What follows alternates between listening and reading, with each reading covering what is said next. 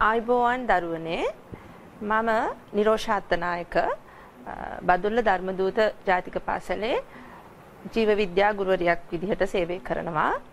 අද මම ඔයාලට උගන්වන්න හදන්නේ ඒ ලෙවල් උසස් පෙළ ජීව විද්‍යා විෂය මාලාවේ පස්වෙනි ඒකකයේ සත්ව ආකාරය හා ක්‍රියාකාරීත්වය කියන ඒකකයේ යටතේ එන විෂය කොටස් කීපයක්. එතකොට අද අපි කතා කරන මාතෘකාව සතුන්ගේ සංසරණ පද්ධතිය. දැන් අපි දන්නවා සත්තු උදාහරණයක් විදිහට අපි ගත්තොත් මිනිසා ගත්තොත් මිනිසා සතුව සංසරණ පද්ධතියක් තියෙනවා. ඒකට අපි කියනවා රුධිර සංසරණ පද්ධතිය කියලා. එතකොට හැම සතෙකුටම සංසරණ පද්ධතියක් කියලා එකක් නැහැ. සරල ජීවීන් ගත්තොත් අපි නිඩාරියාවන් ප්ලැටිහෙල්මිත්තේ ස්වංශිකයන් වගේ සරල ජීවීන් ගත්තොත් එයාලට සංසරණ පද්ධතියක් නැහැ. ඇයි එයාලට සංසරණ පද්ධතියක් නැත්තේ? එයාලට සංසරණ පද්ධතියකින් කරන වැඩේ කරගන්න පුළුවන්කම තියනවා පද්ධතියක් නැතුව. ඒ කොහොමද? එයාලා පොඩි පුංචි ජීවීන් ඒත් එක්කම සරල ජීවීන්. එතකොට එයාලගේ සරල විසරණයෙන් එයාලගේ අවශ්‍යතා ටික පරිවහන අවශ්‍යතා ද්‍රව්‍ය හෝමාරු අවශ්‍යතා ටික සම්පූර්ණ කරගන්න යාලට පුළුවන්. ඒකට හේතු වෙලා තියෙන්නේ ඒ සරල පොඩි ජීවීන්ගේ දේහයේ තියෙන සෛල වලින් වැඩි ප්‍රමාණයක් බාහිර පරිසරයත් සමග ගැටෙන අවස්ථාවක තමයි තියෙන්නේ. ඒත් එකම දේහයේ පොඩි නිසා දේහය ඇතුලේ ද්‍රව්‍ය පරිවහණය වෙන්න තියෙන දුරත් අඩුයි. එතකොට එයාලට සරල විසරණයෙන් එයාලගේ බාහිර පරිසරයේ සමග ද්‍රව්‍ය හෝමාරුව සහ දේහය ඇතුළත ද්‍රව්‍ය පරිවහනය කරගන්න හැකියාව තියෙනවා. ඒ ජීවීන් සංකීර්ණ වෙනකොට විශාලත්වයෙන් වැඩි වෙනකොට ජීවියාගේ සංකීර්ණතාවය වැඩි වෙනකොට ඔන්න එයාලට සංසරණය වෙන්න ද්‍රව්‍ය සංසරණය වෙන්න දේහය තුල තියෙන දුර ප්‍රමාණය වැඩි වෙනවා. බාහිර පරිසරයත් එක්ක ගැටෙන සෛල ප්‍රමාණය අඩුවීම නිසා ඒ කියන්නේ අර පෘෂ්ඨ පරිමා අනුපාතය විශාල වෙනකොට අපි කියනවානේ දේහයේ බාහිර පෘෂ්ඨයත් දේහයේ බාහිර පෘෂ්ඨය බාහිර පරිසරය සමග ගැටෙන ප්‍රමාණය අඩුයි. එතකොට ද්‍රව්‍ය හුමාරු සඳහා තියෙන වර්ගඵලය අඩුවීම නිසා කාර්යක්ෂමතාව අඩු වෙනවා. ඒ නිසා මේ ද්‍රව්‍ය පරිවහන කාර්යක්ෂමතාව වැඩි කර ගැනීම සඳහා තමයි ජීවීන්ට සංසරණ පද්ධතියක් නිර්මාණය වෙන්නේ. එතකොට අපි බැලුවොත් මේ සංසරණ පද්ධතියක අවශ්‍යතාවය එන්නේ ඇයි කොතනදීද කියලා ජීවයා ප්‍රමාණයෙන් හා සංකීර්ණතාවයෙන් වැඩි වෙනකොට දේහය තුලට හා පිටතට ගමන් කරන ද්‍රව්‍ය ප්‍රමාණය වැඩි වෙනවා. ඒත් එක්කම දේහය තුල පරිවහණය විය යුතු දුර වැඩි වෙනවා. බොහෝ සෛල බාහිර පරිසරය සමග ඍජුවම ගැටෙන්නේ නැහැ. ඒ ටික තමයි අපි දැන් කතා කරේ. ඒක නිසා සත්තුන්ට මේ ජීවීන්ට ද්‍රව්‍ය පරිවහනය සඳහා පරිවහන පද්ධතියක අවශ්‍යතාවය එහෙම නැත්නම් සංසරණ පද්ධතියක අවශ්‍යතාවය එනවා. එතනදි තමයි මේ සංසරණ පද්ධතියක් එහෙම නැත්නම් පරිවහන පද්ධතියක් පරිණාමය වෙන්නේ. එතකොට මොනවද අපි බලමු මොනවද මේ දේහය තුල පරිවහණය වෙන්න තියෙන ද්‍රව්‍ය. දේහය තුල පරිවහණය වෙන ද්‍රව්‍ය මොනවාද? උදාහරණ කිහිපයක් ඔයගලන්ට දීලා තියෙනවා. ශ්වසන වායු ශ්වසන වායු කියලා කිව්වම ඔක්සිජන්, කාබන් ඩයොක්සයිඩ් දෙක. ඊට පස්සේ පෝෂක ද්‍රව්‍ය. පෝෂක ද්‍රව්‍ය කිව්වහම ග්ලූකෝස්, ඇමයිනෝ අම්ල, මේද අම්ල, විටමින් අපි දන්නවනේ සංකීර්ණ කාබනික ද්‍රව්‍ය ටික බිඳ හෙළුවට පස්සේ අවශෝෂණය කරගන්නේ මේ ආකාරවලින්නේ. එතකොට ඒවා ටික පරිවහනය කරන්න දේහය තුල පරිවහන පද්ධතියක් අවශ්‍ය වෙනවා. එතකොට මේ වගේ පෝෂක ද්‍රව්‍ය පරිවහනය වෙනවා. ඊළඟට පරිවෘත්තීය අපද්‍රව්‍ය. යූරියා, ඇමෝනියා වගේ දේවල් පරිවහනය වෙනවා. ඊට අමතරව හෝමෝන ප්‍රතිදේහ කියන දේවල් උදාහරණ විදිහට මේ අපි කතා කරන්නේ ඔයාලට ඔයාලගේ සිලබස් එකේ දීලා තියෙන උදාහරණ ටික විතරයි. දැන් අපි විභාගයේ ටාගට් කරලා නම් පාඩම් කරනකොට මේ තියෙන ප්‍රමාණය ප්‍රමාණවත් වෙනවා ඒ සඳහා. එතකොට මේ පරිවහනය වන ද්‍රව්‍ය සඳහා ඔයාලට දීලා තියෙන උදාහරණ ටික. ඊට පස්සේ අපි බලනවා දැන් මේ දේවල් පරිවහනය කරන්න දේහය ඇතුලේ දැන් පරිවහන පද්ධතියක් නිර්මාණය වෙලා තියෙනවා. අර සරල ජීවීන්ගේ සිට සංකීර්ණ ජීවීන් දක්වා එනකොට. හැබැයි ඒ පරිවහන පද්ධතිය හැමෝටම එක වගේ නෙවෙයි පිහිටලා තියෙන්නේ. එක එක සත්තුන්ට එක එක වංශවලට එක එක කාණ්ඩවලට විවිධ වූ සංසරණ පද්ධති පිහිටලා තියෙනවා. ඒ කොයි විදිහේ සංසරණ පද්ධතියක් වුණත් ඒ සංසරණ පද්ධතියක් සතු මූලික සංරචක කීපයක් තියෙනවා. කොයි ආකාරයේ සංසරණ පද්ධතියක් වුණත් මේ කියන මූලික සංරචක තුනෙන් තමයි හැදිලා තියෙන්නේ. මොනවද මේ මූලික සංරචක? පළවෙනි එක පේශිමය පොම්ප කිරීමේ අවයවය. සරලව කිව්වොත් හෘදය. හෘදයෙන් කරන්නේ දැන් අපි දන්නවානේ පොඩි කාලේ ඔයගොල්ලෝ ඕ ලෙවල් එකේදී ටික ටික තියෙන සංසරණ පද්ධතිය. ඒතර හෘදයෙන් තමයි රුධිරය පොම්ප කරන්නේ. හෘදය සංකෝචනය වීමත් සමග රුධිර වාහිනිය තුළට රුධිරය පොම්ප කරනවා. එතකොට පේශිමය පොම්ප කිරීමේ අවයවය ඒ කියන්නේ හෘදය. ඊළඟට දෙවෙනි එක අන්තර් සම්බන්ධිත වාහිනී. ඒ කියන්නේ හෘදයේ සිට පැන නගින වාහිනී තියෙනවා. ඒ වාහිනී ඔස්සේ රුධිරය ගමන් කරනවා. එතකොට අන්තර් සම්බන්ධිත වාහිනී තවත් සංරචකයක් සංසරණ පද්ධතියක. එතකොට තුන්වෙනි සංරචකය තමයි සංසරණය වන තරලය. ඒ වාහිනී තුල හෘදය තුල දේහය ඇතුලේ සංසරණය වන තරලය අපි උදාහරණ විදිහට කියන රුධිරය සහ රුධිර වසා. ඒ කියන්නේ මේ ජීවි කාණ්ඩ දෙකක සමහර ජීවීන්ගේ රුධිරය තමයි සංසරණය වෙන තරලය සමහරුන්ගේ රුධිර වසා. හරිද? එතකොට මේ තියෙන සංරචක තුන මූලික සංරචක තුන ඕනෑම සංසරණ පද්ධතියක පිහිටලා තියෙනවා. එතකොට මේවා පිහිටලා තිබුණාට ඒවා සංවිධානය වෙලා තියෙන විදිහ සංසරණ පද්ධතිවල සංවිධානය එකිනෙකට වෙනස් එක එක ජීවීන්ගේ. අපි බලමු කොයි කොයි විදිහේ සංසරණ පද්ධතිද අපිට සත්ව රාජධානිය තුල දකින්න හම්බ වෙන්නේ කියලා. එතකොට සත්ව රාජධානිය තුල දැකිය හැකි ප්‍රධාන සංසරණ පද්ධති දෙකක් තියෙනවා. එකක් තමයි විවුර්ත සංසරණ පද්ධතිය. අනිත් එක සංවෘත සංසරණ පද්ධතිය. ඉස්සරහට කතා කරමු මොකද්ද විවුර්ත සංසරණ පද්ධතිය කියන්නේ? මොකද්ද සංසරණ පද්ධති සංවෘත සංසරණ පද්ධතිය කියන්නේ ඒවා හැදිලා තියෙන්නේ කොහොමද ඒවා වැඩ කරන්නේ කොහොමද කියලා. ඉස්සෙල්ලාම අපි බලමු විවෘත සංසරණ පද්ධතිය.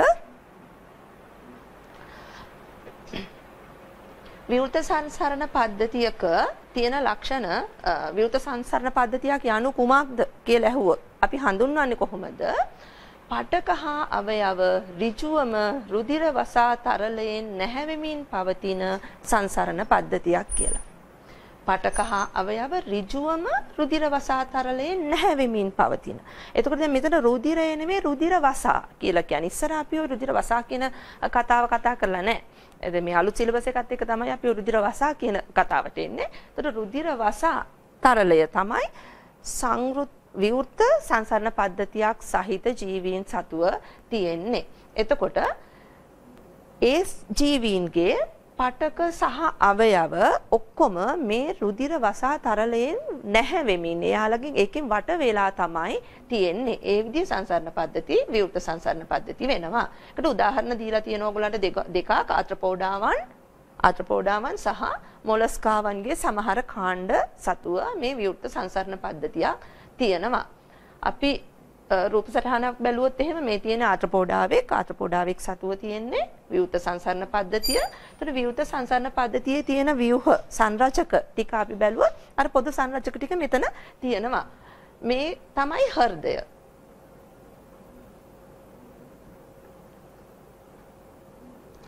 මේ තියෙන්නේ ආත්‍රපෝඩාවේ මේ තනකොළ පෙට්ටියක දාලා තියෙන්නේ. එතකොට මේ යාගේ පෘෂ්ඨීයව දිවෙන හෘදය තමයි මේ තියෙන්නේ. දැන් අපේ මිනිසාගේ හෘදය වගේ නෙවෙයි මේ සත්තුන්ගේ එක එක්කෙනාගේ හෘදය එකිනෙකට වෙනස්. එතකොට මේ තියෙන්නේ ආත්‍රපෝඩාවිකගේ එහෙම නැත්නම් තනකොළ පෙත්තෙක්ගේ හෘදය.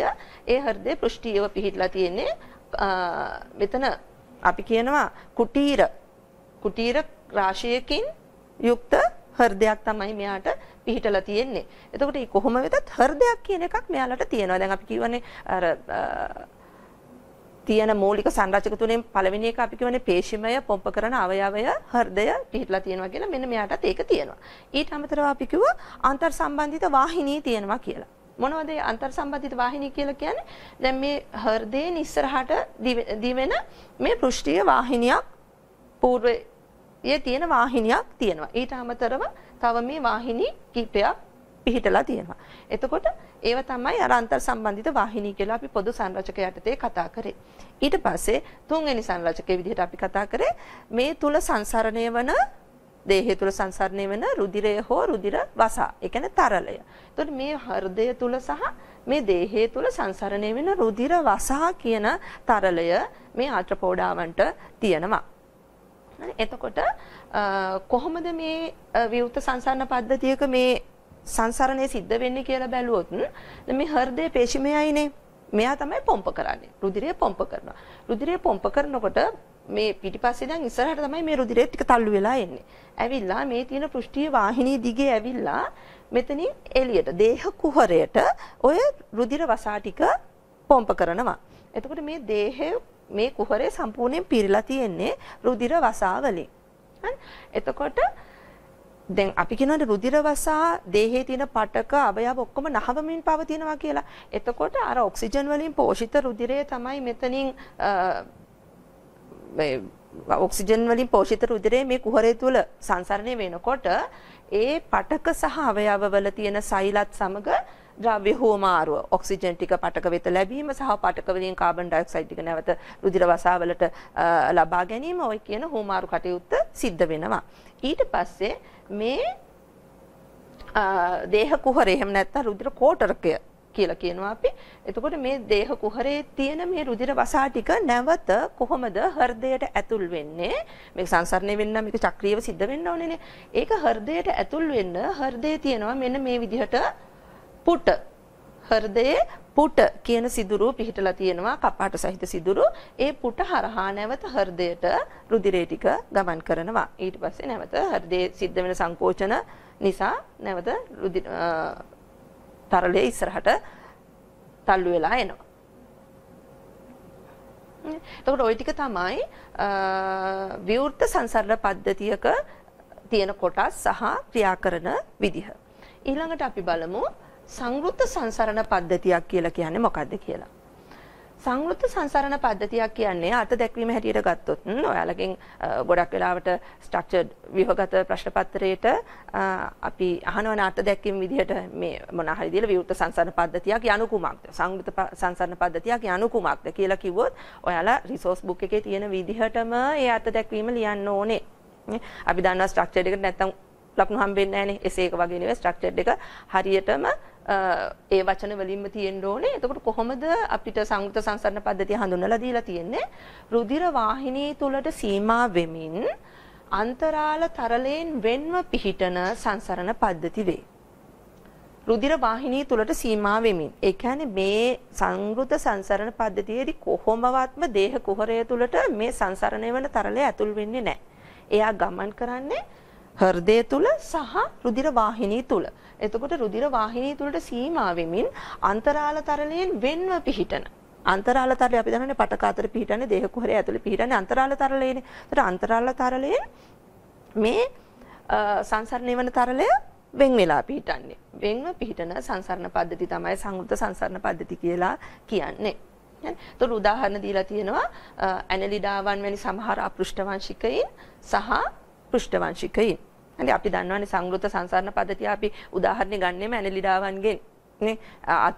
ගැඩවිලානේ අපි උදාහරණයට ගන්නෙ. තියෙනවා ඉස්සරහට පින්තූරයක් අපි බලමු. එතකොට මේ සංවෘත සංසරණ පද්ධතියේ ගැන මෙන්න මෙහෙම කියනවා වඩාත් ක්‍රියාශීලී සතුන්ගේ හා විශාල සතුන්ගේ සෛලවලට ඔක්සිජන් හා පෝෂක ද්‍රව්‍ය පරිවහනය ඉතා කාර්යක්ෂමව සිදු කරනවා කියලා. එතකොට මේක වැදගත් කාරණාවක් විවෘත සංසරණ පද්ධතිය සහ සංවෘත සංසරණ පද්ධතිය සංසන්දනය කරනකොට විවෘත සංසරණ පද්ධතියට වඩා අපි කියනවා සංවෘත සංසරණ පද්ධතිය කාර්යක්ෂමතාවයෙන් ඉහළයි. ඇයි එහෙම කියන්නේ? වාහිනිය තුල විතරයි මේ තරලේ ගමන් කරන්නේ සංසරණය වෙන තරලේ ගමන් කරන්නේ ඒත් එක්කම දැන් අර විශාල සතුන්ගේ ගොඩ ලොකු දුරකට මේ තරලේ පරිවහනය කරන්න ඕනේනේ. එතකොට ඒකට ලොකු බලයක් ඇතුව පොම්ප කරන්න ඕනේ වෙනවා. එතකොට ඒකට හොඳ හෘද පිහිටලා තියෙනවා. තදින් පොම්ප කරනවා වාහිනී තුල හොඳ පීඩනයක් ඇතුව රුධිරය ගමන් කරනවා. අර විවුර්ත සංසරණ පද්ධතිය වගේ දේහේ කුහරයට මුදා හැරියට පස්සේ එතනදී පීඩනය හොඳටම අඩු වෙනවා.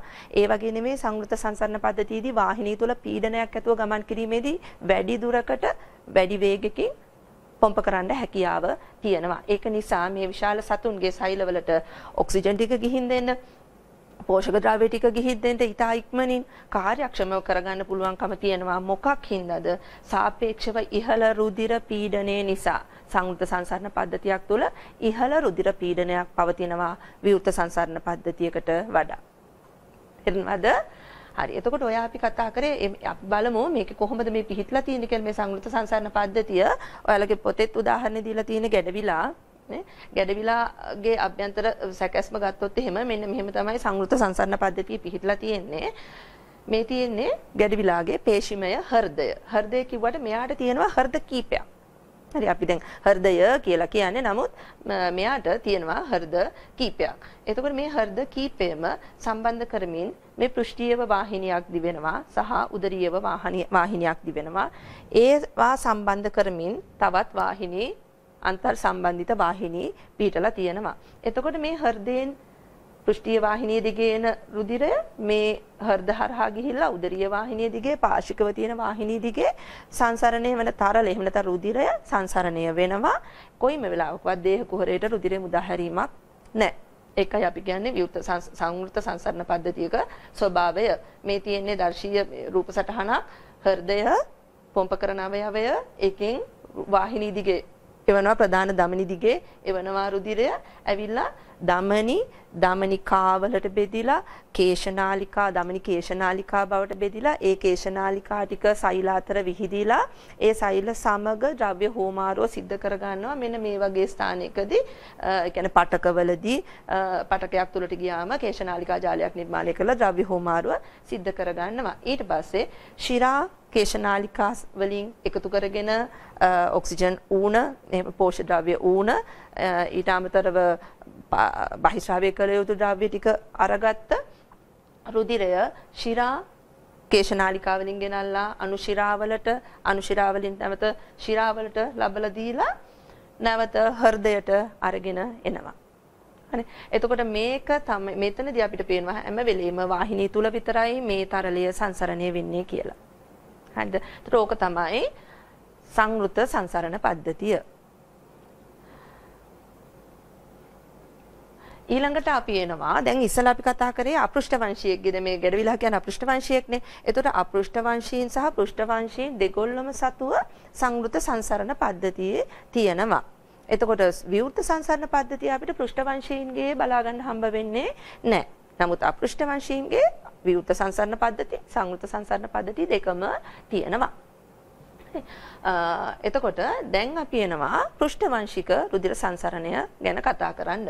එතකොට පෘෂ්ඨවංශික සංසරණ පද්ධතියේ සංවිධානය තමයි ඊළඟට අපි කතා කරන්නේ. හරිද? එතකොට පෘෂ්ඨවංශික සංසරණ පද්ධතිය සංවෘත සංසරණ පද්ධතියක්. ඉස්සෙල්ලා අපි ඒක කතා කරා. හරි එතකොට ඒ සංගත සංසරණ පද්ධතිය අපි කියනවානේ අන්තර් සම්බන්ධිත වාහිනී තියෙනවා කියලා. ඒ වාහිනී වල අපි ප්‍රධාන රුධිර වාහිනී වර්ග තුනක් කතා කරනවා. මේවා දන්නවා ඔයගොල්ලෝ පොඩි කාලෙත් ඉගෙනගෙන තියෙනවා. ධමනී, ශිරා සහ කේශනාලිකා කියන වාහිනී වර්ග තුන. එතකොට ධමනි කියන්නේ මොනවද කියලා බැලුවොත් ධමනි කියන්නේ හෘදයේ සිට අවයව කරා රුධිරය ගෙන යන වාහිනී. හෘදයේ සිට අවයව කරා රුධිරය ගෙන යන වාහිනී. ඊළඟට ශිරා කියලා කියන්නේ හෘදය වෙත නැවත රුධිරය ගෙන එන වාහිනී. කේශනාලිකා කියලා කියන්නේ මේ ධමනි සහ ශිරා අතර එහෙම නැත්නම් ධමනි ධමනිකා සහ අනුශිරා අතර තියෙන සවිවර තුනී බිත්ති සහිත අන්වීක්ෂීය වාහිනී කියලා කියනවා. සවිවර තුනී බිත්ති සහිත අන්වීක්ෂීය වාහිනිය හැට පේන්නේ නැති අන්වීක්ෂීය වාහිනී විශේෂයක් කේශනාලිකා කියලා කියන්නේ. එතකොට මේ බිත්ති මේ වගේ බිත්ති අපි පටක යටතේ කතා කරනවා රුධිර වාහිනී වල බිත්ති එහෙම සරල ශල්කමේ අපිච්ඡදයකින් තමයි සකස් වෙලා තියෙන. ඒ කියන්නේ එක ස්තරයයි තුනී සෛල ස්තරයකින් තමයි ආවරණය වෙලා තියෙන. තුනී බිත්ති තමයි තියෙන්නේ කේශනාලිකා වලට. මොකද කේශනාලිකාවලදී තමයි රුධිරය හා අන්තරාල තරලය අතර ද්‍රව්‍ය හෝමාරුව සිද්ධ වෙන්නේ. දමනි වලින් ගෙනියන රුධිරය දමනි දමනිකාවලට බෙදිලා දමනි කේශනාලිකාවලට බෙදිලා එතකොට ඒ කේශනාලිකාවලදී තමයි රුධිරය සහ අන්තරාල තරලය අතර ද්‍රව්‍ය හුවමාරුව සිද්ධ වෙන්නේ. ඒ කියන්නේ රුධිරයෙන් ගේන පෝෂක ද්‍රව්‍ය ටික, ඔක්සිජන් ටික අන්තරාල තරලයට දීලා දැන් අපි පටක සහ රුධිරය අතර ද්‍රව්‍ය හුවමාරුව කියලා කිව්වට කෙලින්ම රුධිරයේ වාහිනියෙන් ගේන රුධිරයේ තියෙන ද්‍රව්‍ය ටික කෙලින්ම අපි සෛලවලට නෙවෙයි දෙන්නේ. රුධිරයේ තියෙන ටික ඉසලා අන්තරාල තරලයට දීලා අන්තරාල තරලයෙන් තමයි නැවත සෛල තුලට ඇතුල් වෙන්නේ. හරි. එතකොට මේ අන්තරාල තරලේ සහ රුධිරය අතර ද්‍රව්‍ය හෝමාරුව කේශනාලිකා තුළදී සිද්ධ වෙනවා. එතකොට සංසරණ පද්ධතියේ තියෙන ප්‍රධාන වාහිනී වර්ග තුන ගැන තමයි මේ අපි කතා කරේ. මේ වගේදී ඕගොල්ලොන්ට මතක ඇති පොඩි කාලේ ඉගෙනගෙන ඇති ඕ ලෙවල් එකේදී ඉගෙන ඇති ඇති ධමනි සහ ශිරා අතර වෙනස්කම්, ධමනි ශිරා සහ කේශනාලිකාවල ව්‍යුහය ගැන අපි කියනවා ධමනි වල ධමනි බිත්ති ඝනකාම් ශිරාවලට වඩා ශිරාවල බිත්ති වලට වඩා ඊළඟට ධමනි ධර්මනි ප්‍රත්‍යස්තයි ශිරා ප්‍රත්‍යස්ත නැහැ. අනිත් එක ශිරාවල තියෙනවා කපාට දමනිවල එහෙම කපහට නැහැ. ඒ වගේ දමනි සහ ශිරා අතර වෙනස්කම් ඔයගලන්ට මතක ඇති. ඒකට ඒව ගැන ලොකු අවධානයක් යොමු කරන්නේ අපි. මෙතනින් ඉස්සරහට යනවා. මේ සංසරණ පද්ධතිය අපි දැන් කතා කරන්නේ විවුත සංසරණ පද්ධතිය කතා කරා සංවෘත සංසරණ පද්ධතිය කතා කරා. එතකොට මේ සංවෘත සංසරණ පද්ධතියේ අපිට දකින්න හම්බ වෙනවා සංසරණය වන රුධිරේ සංසරණය වන ක්‍රම දෙකක්.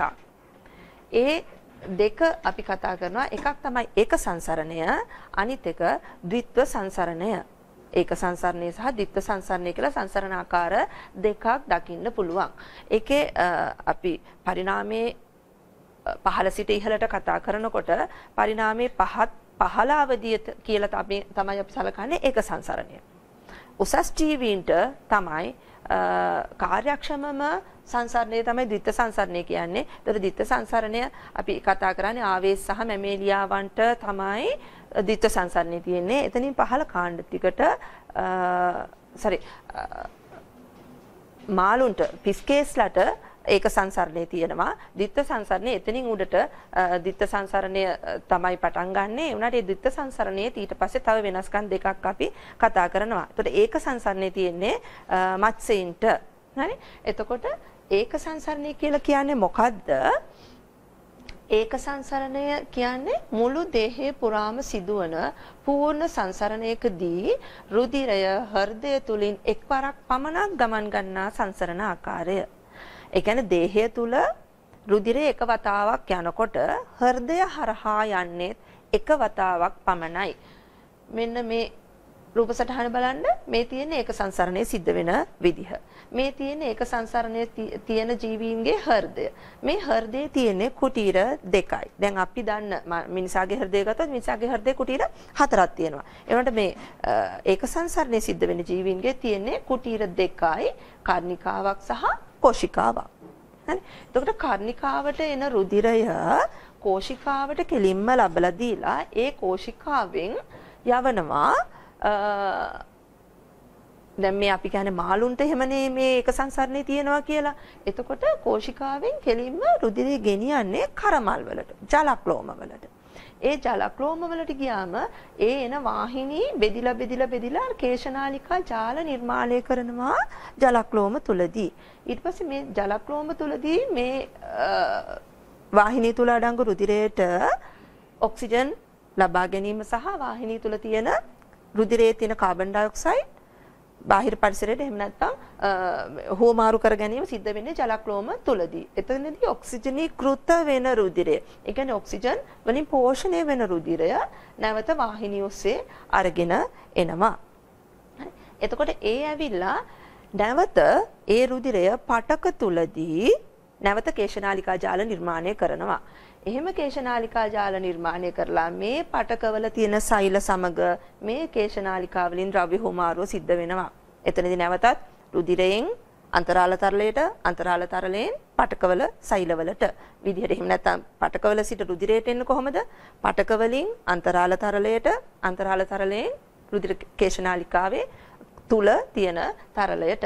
ඒ විදිහට මෙතනදී ද්‍රව්‍ය හෝමාරුව සිද්ධ වෙනවා. ඊට පස්සේ එතනදී ඔක්සිජන් ටික ලබලා දීලා පෝෂ්‍ය ද්‍රව්‍ය ටික ලබලා දීලා අපිරිසිදු රුධිරය එහෙම නැත්නම් ඔක්සිජන් රහිත රුධිරය ඒ ටික නැවත එකතු කරගෙන කාර්නිකාවට අරගෙන එනවා. එතකොට මේක මෙතනදි බලන්න මේ දේහය පුරා ගමන් කරනකොට මෙතන කෝෂිකාවෙන් පිට වෙන රුධිරය ජලක්ලෝම වලට ගියා ඊට පස්සේ නැවත දේහයේ පටක දක්වා ගියා ඊට පස්සේ නැවත හෘදයට ආවා. එතකොට දැන් සම්පූර්ණ චක්‍රයක් සම්පූර්ණයි. එතකොට හෘදය හරහා එක වතාවයි ගමන් කරන්නේ. ඒකයි අපි ඒක සංසරණය කියලා කියන්නේ. එතකොට ඒක සංසරණය ගැන අපි දැන් කතා කරා සතුන්ට ඒ සතුන්ට තියෙන හෘදේ කුටීර දෙකයි කර්ණිකාවයි කෝෂිකාවයි උදාහරණ විදිහට දීලා තියෙනවා අපිට අස්තික මසුන් සහ කාටිලේජ මසුන් උදාහරණ විදිහට මෝරා මඩුවා කියන උදාහරණ දෙක. එතකොට ඔය අපි කතා කරේ ඒක සංසරණය ගැන. එහෙනම් අපි බලමු ද්විත්ව සංසරණය. ද්විත්ව සංසරණය කියලා කියන්නේ මුළු දේහය පුරා සිදුවන පූර්ණ සංසරණයකදී රුධිරය හෘදය තුලින් දෙවරක් ගමන් ගන්නා සංසරණ ආකාරය. දේහේ පුරා එකපාරක් රුධිරය යනකොට හෘදය හරහා දෙපාරක් ගමන් කරනවා. කොහොමද එහෙම වෙන්නේ? උදාහරණ ජීවීන් දීලා තියෙනවා ඔබේ ජීවීන් උරගයින් පක්ෂීන් සහ ශීරපායින් මත්ස්‍යීන් තමයි අතනින් අයින් වෙන ඒක සංසරණයට උබේ ජීවීන් උරගයින් පක්ෂීන් සහ ශීරපායින් හතරම හතර ගොල්ලම දිත්ත සංසරණය දරන ජීවීන් වෙනවා එතකොට මෙයාලගෙත් හැබැයි වෙනස්කම් තියෙනවා දිත්ත සංසරණයේ තවත් ආකාර දෙකක් තියෙනවා. පූර්ණ දිත්ත සංසරණය සහ අසම්පූර්ණ දිත්ත සංසරණය කියලා. එතකොට අපි අසම්පූර්ණ දිත්ත සංසරණය කතා කරනවා උරගීන් සහ ඔබේ ජීවීන්ගේ පක්ෂීන් සහ ශීරපායින්ගේ පූර්ණ දිත්ත සංසරණය කතා කරනවා. අපි මේ දිත්ත සංසරණය වෙන්නේ කොහොමද කියලා බැලුවොත් එහෙම මේ මේ රූපයට එන්න දැන් ඉස්සලා අපි ඒක සංසරණය කතා කරානේ. එතකොට මේ ditth සංසරණයේදී හෘදය හෘදය අපි කියනවානේ කර්ණිකාවලට තමයි රුධිරය මුලින්ම අරගෙන එන්නේ. ඊට පස්සේ ඒ ටික කෝෂිකාවලට දීලා කෝෂිකාවලින් තමයි රුධිරය පොම්ප කරන්නේ දේහයට. එතකොට මේ දිත්ව සංසරණය තියෙන ජීවීන්ගේ හෘදය කුටීර තුනක් හෝ හතරක් දරනවා. ඒක සංසරණය කරන කට්ටියගේ අපි කිව්වේ කුටීර දෙකයි. කර්ණිකාවයි කෝෂිකාවයි. දිත්ව සංසරණය තියෙන කට්ටියගේ සමහරුන්ට තියෙනවා කර්ණිකා දෙකයි කෝෂිකා දෙකයි. සමහරුන්ට තියෙනවා කර්ණිකා දෙකයි කෝෂිකා එකයි. එතකොට ඒ කර්ණිකා දෙකයි කෝෂිකා එකයි කියන කුටීර තුනකින් යුක්ත හෘද තියෙන කට්ටිය අසම්පූර්ණ දිත්ත සංසරණයක් පෙන්නනවා කියලා කියනවා අපි කර්ණිකා දෙකයි කෝෂිකා දෙකයි තියෙන ජීවීන් පූර්ණ දිත්ත සංසරණය පෙන්නනවා කියලා කියනවා. එතකොට කොහොම වුණත් දිත්ත සංසරණයේදී වෙන්නේ මොකද්ද? කර්ණිකාවලට ගෙනත් දෙන රුධිරය කෝෂිකාවලට යොමු කරලා කෝෂිකාවලින් ඊට පස්සේ යොමු කරනවා පෙනහළු වලට. පෙනහළු වල තියෙන කේශනාලිකා ජාලයේදී තමයි ඔක්සිජන් සහ කාබන් ඩයොක්සයිඩ් හුවමාරුව සිද්ධ වෙන්නේ. ඔක්සිජන් ඌණ රුධිරය ටික තමයි පෙනහළු වලට ගෙනියන්නේ. පෙනහළු වල ගත දක්වා ගේන ඔක්සිජන් වැඩි රුධිර වැඩි වාතයෙන් ඔක්සිජන් ටික ගන්නවා මේ කේශනාලිකා වලට. ඊට පස්සේ ඒ කේශනාලිකා ජාලයේ ඔක්සිජනීකృత එහෙම නැත්නම් ඔක්සිජන් වලින් පෝෂිත රුධිරය නැවත අරන් එනවා හෘදයට. දැන් අපි කිව්වා හෘදයේ ඉඳලා තමයි ගියේ රුධිරය ටික ගිහිල්ලා පෙනහළු වලට ගිහිල්ලා එතනදී වායු හෝමාරුව සිද්ධ වෙලා ඊට පස්සේ නැවත හෘදයට අරන් එනවා. ඒ අරන් එන්නේ වම් කර්ණිකාවට. වම් කර්ණිකාවට ගෙනල්ලා නැවත කෝෂිකාවලට මේ රුධිරය ලබලා දෙනවා. පූර්ණ දිත්ත සංසරණකයේදී නම් වම් කෝෂිකාවට අසම්පූර්ණකයේදී නම් තියෙන එකම කෝෂිකාවට රුධිරය ලබලා දෙනවා. ඊට පස්සේ එතනින් පොම්ප කරනවා දේහය පුරා රුධිරය යන විදිහට සංස්ථානික ධමනිය ඔස්සේ නැත්නම් මහා ධමනිය ඔස්සේ පොම්ප කරනවා. ඒ රුධිරය ගිහිල්ලා දේහ පටකවලදී අවයව ඇතුලේ තියෙන දේහ පටකවලදී කේශනාලිකා ජාල නිර්මාණය කරලා එතනදී ද්‍රව්‍ය හෝමාරෝ සිද්ධ කරගන්නවා සෛල සමග ඊට පස්සේ නැවත ඒ රුධිරය ටික අපද්‍රව්‍ය ටික රැගත් ඔක්සිජන් ඌන රුධිරය ටික නැවත එකතු කරගෙන ශිරා ඔස්සේ ආපහු හෘදයට අරගෙන එනවා. එතකොට දෙවෙනි වතාවටත් දැන් ඔන්න හෘදයට රුධිරය එනවා. ඊට පස්සේ තමයි නැවත පිරිසිදු කිරීම සඳහා පෙනහළු දක්වා රුධිරය යවන්නේ. එතකොට දැන් බලන්න ඉස්සෙල්ලම හෘදයට ආපු රුධිරය පෙනහළු වලට යවලා ආපහු රුධිරය ආවා හෘදයට එතනින් නැවත පොම්ප කරා දේහේ අනිත් කොටස් වලට ඒ ඉවර කරගෙන නැවත ආවා හෘදයට. එතකොට ඔය චක්‍රය සම්පූර්ණ වෙනකොට ඕක තමයි තනි චක්‍රයක්.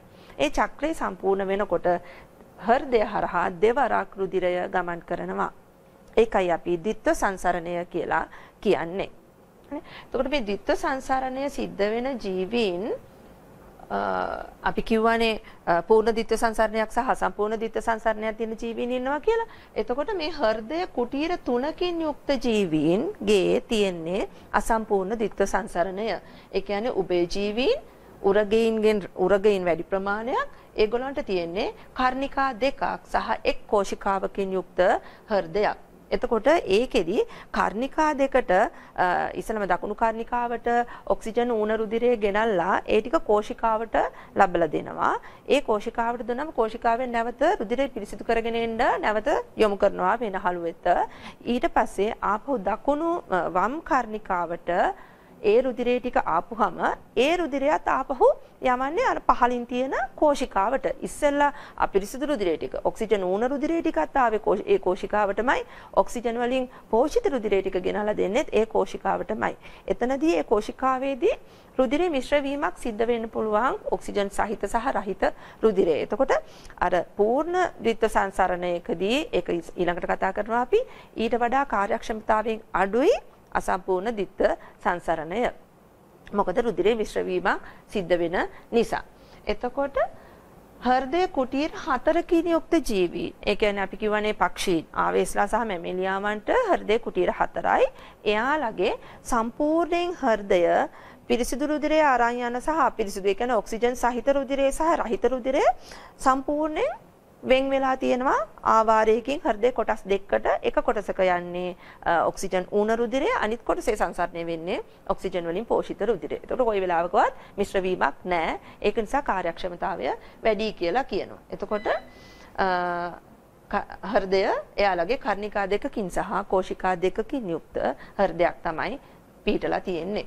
හරි? හැබැයි ඔයාලගේ සිලබස් එකේ දැන් මේ මේ දෙක හඳුන්වලා දීලා තිබ්බට හෘදේ කුටීර තුනකින් යුක්ත සහ හතරකින් යුක්ත ජීවීන් කියලා හඳුන්වලා දීලා තිබ්බට පූර්ණ ditth සංසරණය සහ අසම්පූර්ණ ditth සංසරණය කියන වචන පාවිච්චි කරලා නැහැ. මේක දීලා තියෙන්නේ මෙයාලගේ මෙහෙම මේ සෙට මේ සංවිධානය. කන්නිකා දෙකයි කෝෂිකා එකයි කියන සංවිධානය ඇතුලේ තියෙන්නේ අසම්පූර්ණ ditth සංසරණය. කර්ණිකා දෙකයි කෝෂිකා දෙකයි කියන සංවිධානය ඇතුලේ තියෙන්නේ පූර්ණ ද්විත්ව සංසරණය. එතකොට අපි වැඩි අවධානය යොමු කරන්නේ ඊට පස්සේ මානවයාගේ රුධිර සංසරණය ගැනනේ. එතකොට එයාලට තියෙන්නේ අපිට තියෙන්නේ කුටීර හතරකින් යුක්ත හෘදය. හරි? හැබැයි රූපයක් තියෙනවා ඔයාලගේ රිසෝස් බුක් එකේ බලන්න. ඒ රිසෝස් බුක් එකේ ඒක සංසරණය අසම්පූර්ණ දිත්ත සංසරණය සහ පූර්ණ දිත්ත සංසරණය සහිත රූප සටහනක් තියෙනවා. වචනේ විස්තර කළ නැති වුණාට ඔයගොල්ලෝ හැම වෙලේම උත්සාහ කරන්න රිසෝස් බුක් එකත් එක්ක යන්න. ඒත් එක්කම ඒ රූප සටහන් කියවන්න. සමහර වෙලාවට සමහර පාඩම්වලදී මේකේ තියෙනවා මේ පාඩමේ තියෙනවා. රිසෝස් බුක් එකේ වචනෙන් ලියලා නැහැ නමුත් රූප සටහනේ මේ දේවල් පැහැදිලිව දක්වලා තියෙනවා. ඒකට ඒව ගැනත් අවධානය යොමු කරන්න. එතකොට මේ කාරණාව ඒක සංසරණයත් එක්ක සංසන්දනය කරනකොට සියලුම සෛල, පටක හා මොළය වැනි අවයවවලට රුධිරය සැපයීම ද්විත්ව සංසරණයේදී වඩාත් කාර්යක්ෂමව සිදු වෙනවා කියලා කියනවා. අපි දැන් ඉස්සෙල්ලා කතා කරා අසම්පූර්ණ විවෘත සංසරණයකදී ඊට වඩා සංවෘත සංසරණයකදී කාර්යක්ෂමතාව වැඩි ද්‍රව්‍ය පරිවහන කාර්යක්ෂමතාව. ඇයි ඒ අසම් විවෘතයකට වඩා සංවෘතයකේ පීඩනය වැඩි නිසා. ඊළඟට මෙතනදී අපි කතා කරනවා ඒක සංසරණයයි ද්විත්ව සංසරණය සංසන්දනය කරනකොට ඒක සංසර ද්විත්ව සංසරණයේදී ඒක සංසරණයට වඩා කාර්යක්ෂමතාව වැඩි කියලා. ඒ කියන්නේ හොඳ ලොකු පීඩනයක් යොදන්න පුළුවන්කම තියෙනවා ද්විත්ව සංසරණයකදී ද්‍රව්‍ය පරිවහනය සඳහා. හරි. ඊළඟට අපි එනවා මානව රුධිර සංසරණ පද්ධතියට. මේ තියෙන්නේ මානව සංසරණ පද්ධතියේ මූලික සැලැස්ම. හරි. මෙතනදී අපි කතා කරනවා හෘදය කුටීර 4යි. කර්ණිකා 2යි, කෝෂිකා 2යි. එතකොට මේ දකුණු පැත්තත් වම් පැත්තත් මේ කෝෂිකා කර්ණිකා කෝෂිකා මැද තියෙන ආවාරයකින් සම්පූර්ණයෙන් දෙකට බෙදිලා තියෙන්නේ. එතකොට මේ වම් පැත්තේ සංසරණය වෙන්නේ මේ නිල් පාටින් ඇඳලා තියෙන්නේ අපි සාමාන්‍යයෙන් අපි කියන්නේ ඔක්සිජන් වලින් ඌණ රුධිරේනේ ඔය නිල් පාටින් අඳින්නේ. එතකොට ඔක්සිජන් වලින් පෝෂිත රුධිරය තමයි රතු පාටින් අඳින්නේ. එතකොට මේ වම් පැත්තේ සංසරණය වෙන්නේ ඔක්සිජන් වලින් පෝෂිත ඌණ රුධිරය දකුණු දකුණු පැත්තේ සංසරණ ඇඳලා තියෙන්නේ ඔක්සිජන් වලින් ඌණ රුධිරය මේ වම් පැත්තේ සංසරණය වෙන්නේ ඔක්සිජන් පෝෂිත රුධිරය. එතකොට දැන් මේකේ ditth සංසරණයත් මේකෙදි පැහැදිලිව පේනවා මේ රූපේදීත් මානවයාට තියෙන්නේ කුටීර හතරකින් යුක්ත හෘදය සහ ditth සංසරණය. එතකොට මේ වම් කර්ණිකාවට දකුණු කර්ණිකාවට අරගෙන එනවා දේහය පුරා සංසරණය වෙලා ඔක්සිජන් වලින් අඩු ඔක්සිජන් ඌණ රුධිරය ටික අරගෙන ඉන්නේ දකුණු කර්ණිකාවට වාහිනී දෙකක් ඔස්සේ අරගෙන එනවා මොකද්ද උත්තර මහා ශිරාව සහ අදර මහා ශිරාව උත්තර මහා ශිරාව සහ අදර මහා ශිරාවෙන් අරන් එනවා දකුණු කර්ණිකාවට මේ රුධිරය ටික. ඊට පස්සේ කර්ණිකා සංකෝචනයේදී ඒ රුධිරය ටික ලබලා දෙනවා දකුණු කෝෂිකාවට. කෝෂිකාව සංකෝචනයේදී ඒ රුධිරය ටික පොම්ප කරනවා පුප්පුෂීය දමනිය ඔස්සේ පෙනහළු වලට යවන්නේ ඔක්සිජන් අරගෙන එන්න. එතකොට පුප්පුෂීය දමනිය ඔස්සේ යන රුධිරය පෙනහළු තුලදී දමනිකාවලට බෙදිලා කේශනාලිකාවලට බෙදිලා ඒ කේශනාලිකා ජාලය පෙනහළු තුල ගර්ත වටා පිහිටමින් හොඳ වායු හෝමාරුවක් සිද්ධ කරගන්නවා. ඊට පස්සේ ඒ විදිහට පිරිසිදු වෙන රුධිරය ටික නැවත ශිරා ඔස්සේ අපි කියන පුප්පුෂීය ශිරා ශිරා ඔස්සේ අරගෙන එනවා වම් කර්ණිකාවට. එතකොට මේ වම් කර්ණිකාවට එන්නේ ඔක්සිජන් වලින් පෝෂිත රුධිරය ටික. ඊට පස්සේ වම් කෝෂිකාව සංකෝචනය වෙලා වම් කෝෂිකාවේ වම් කර්ණිකාව සෝරි වම් කර්ණිකාවට එනවා රුධිරය ටික වම් කර්ණිකාව සංකෝචනය වෙනකොට වම් කෝෂිකාවට රුධිරය ටික බහිනවා.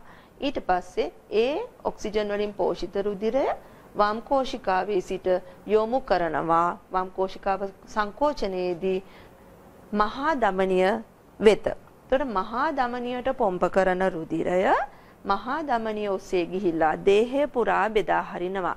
මෙතනදී මුලින්ම මහා දමනිය පටන් ගන්න තැනම අපි කියනවා අපි ඉස්සරහට හෘදේ ව්‍යුහය කතා කරනකොට කතා කරනවා මහා දමනිය පටන් ගනිද්දී මෙතන තියෙනවා ඒ ආරම්භයේදීම තියෙන කපාටයක්. අඩසද කපාටයක් කියලා කියනවා අපි. ඒක පහු වෙනකොටම. ඒකට වහාම විදුරව අපි කියනවා ආරම්භ කරනවා කිරීටක දමනී කිරීටක දමනී කියලා කියන්නේ හෘදේ වෙත රුධිරය සපයන දමනී ඒක එතකොට හෘදයට රුධිර සැපෙන කිරීටක දමනින් ඒ ටික පහු කරලා මහා දමනිය යනකොට මෙතනින් ඊළඟට හිසට ගෙනියන වාහිනී ටික හිසට රුධිරය ගෙනියන වාහිනී අත්වලට ගෙනියන වාහිනී ක්‍රමක්‍රමයෙන් බෙදෙමින් බෙදෙමින් දේහයේ අනිත් කොටස් වලට උරස් කුහරයට යනවා උදර කුහරයට යනවා. එතකොට උදර කුහරයේ තියෙන අවයව වලට ගාත්‍රා වලට පාදවලට ඒ හැම එකටම රුධිරය සපයන්නේ මහා දමනිය ඔස්සේ යන රුධිරය. එහෙම ගිහිල්ලා ඒ පටක ඇතුලේදී ඒ හැම අවයවයකම හැම පටකයක් තුලදීම කේශනාලිකා ජාල නිර්මාණය කරනවා. ඊට පස්සේ එතනදී ද්‍රව්‍ය හුමාරුව සිද්ධ වෙනවා. එතකොට එහෙම සිද්ධ වෙලා නැවත ඔක්සිජන් ඌන එහෙම නැත්නම් පෝෂක ද්‍රව්‍ය ටික දීපු ඔක්සිජන් ටික දීලා අපද්‍රව්‍ය ටික අරගත්ත රුධිරය නැවත ශිරා නිර්මාණය කරමින් දකුණු කර්ණිකාවට අරගෙන එනවා. ඒතර ඕක තමයි මානව සංසරණ පද්ධතියේ මූලික සැකැස්ම. ඔතනින් එහාට අපි කතා කරනවා තවත් හෘදය ගැන විස්තර ටිකක් ඉස්සරහට. එතකොට ඔයාලගේ සිලබස් එකේ ඊළඟ කොටස ඕකේ මැදට දාලා තියෙනවා වසා පද්ධතියේ සැකැස්ම කියලා. දැන් රුධිර සංසරණ පද්ධතිය ඇවිල්ලා රුධිර සංසරණ පද්ධතිය සම්පූර්ණ විස්තරය කතා කරන්න පෙර මැදට දාලා තියෙනවා තව වසා පද්ධතියේ සැකැස්ම කියලා එකකුත්. මොකද රුධිර සංසරණ පද්ධතිය සහ වසා පද්ධතිය කියන්නේ එකිනෙකට සම්බන්ධ වෙච්ච පද්ධති දෙකක්. රුධිර සංසරණ පද්ධතියේ මනා ක්‍රියාකාරීත්වය සඳහා වසා පද්ධතියත් අත්‍යවශ්‍යයි. එතකොට වසා පද්ධතිය ගැන අපි ලොකුට කතා කරන්නේ නැහැ. පොඩි කරුණු කීපයක් කතා කරනවා. එතකොට ඒ ටික එතනදී ඉවර කරලා තමයි ඉස්සරහට ගිහින් තියෙන්නේ රුද්‍ර සංසන්න පද්ධතියේ ව්‍යුහ හෘදේ ව්‍යුහය ක්‍රියාකාරීත්වය ගැන ඉස්සරහට කතා කරන්නේ. ඊළඟට අපි බලන්න තියෙන්නේ එතකොට වසා පද්ධතියේ මූලික සැලැස්ම ගැන. ඊළඟට අපි බලමු මානව වසා පද්ධතිය ගැන. මානව වසා පද්ධතියේ මූලික සැලැස්ම. වසා පද්ධතිය මෙන්න මේ විදිහේ රූප සටහනකින් පෙන්වන්න පුළුවන්. අපි කිව්වා රුධිර සංසරණ පද්ධතියත් එක්ක සම්බන්ධ සම්බන්ධතා පවත්වමින් ඉන්න පද්ධතියක් තමයි වසා පද්ධතිය. එතකොට වසා පද්ධතියේ සංරචක ටික වසා පද්ධතියේ අඩංගු කොටස් ටික මෙන්න මේ විදිහට අපි කතා කරනවා. වසා වාහිනී, වසා ගැටිති, වසා පටක සහ වසා අවයව කියලා. එතකොට වසා වාහිනී තමයි මේ පෙන්නලා තියෙන්නේ.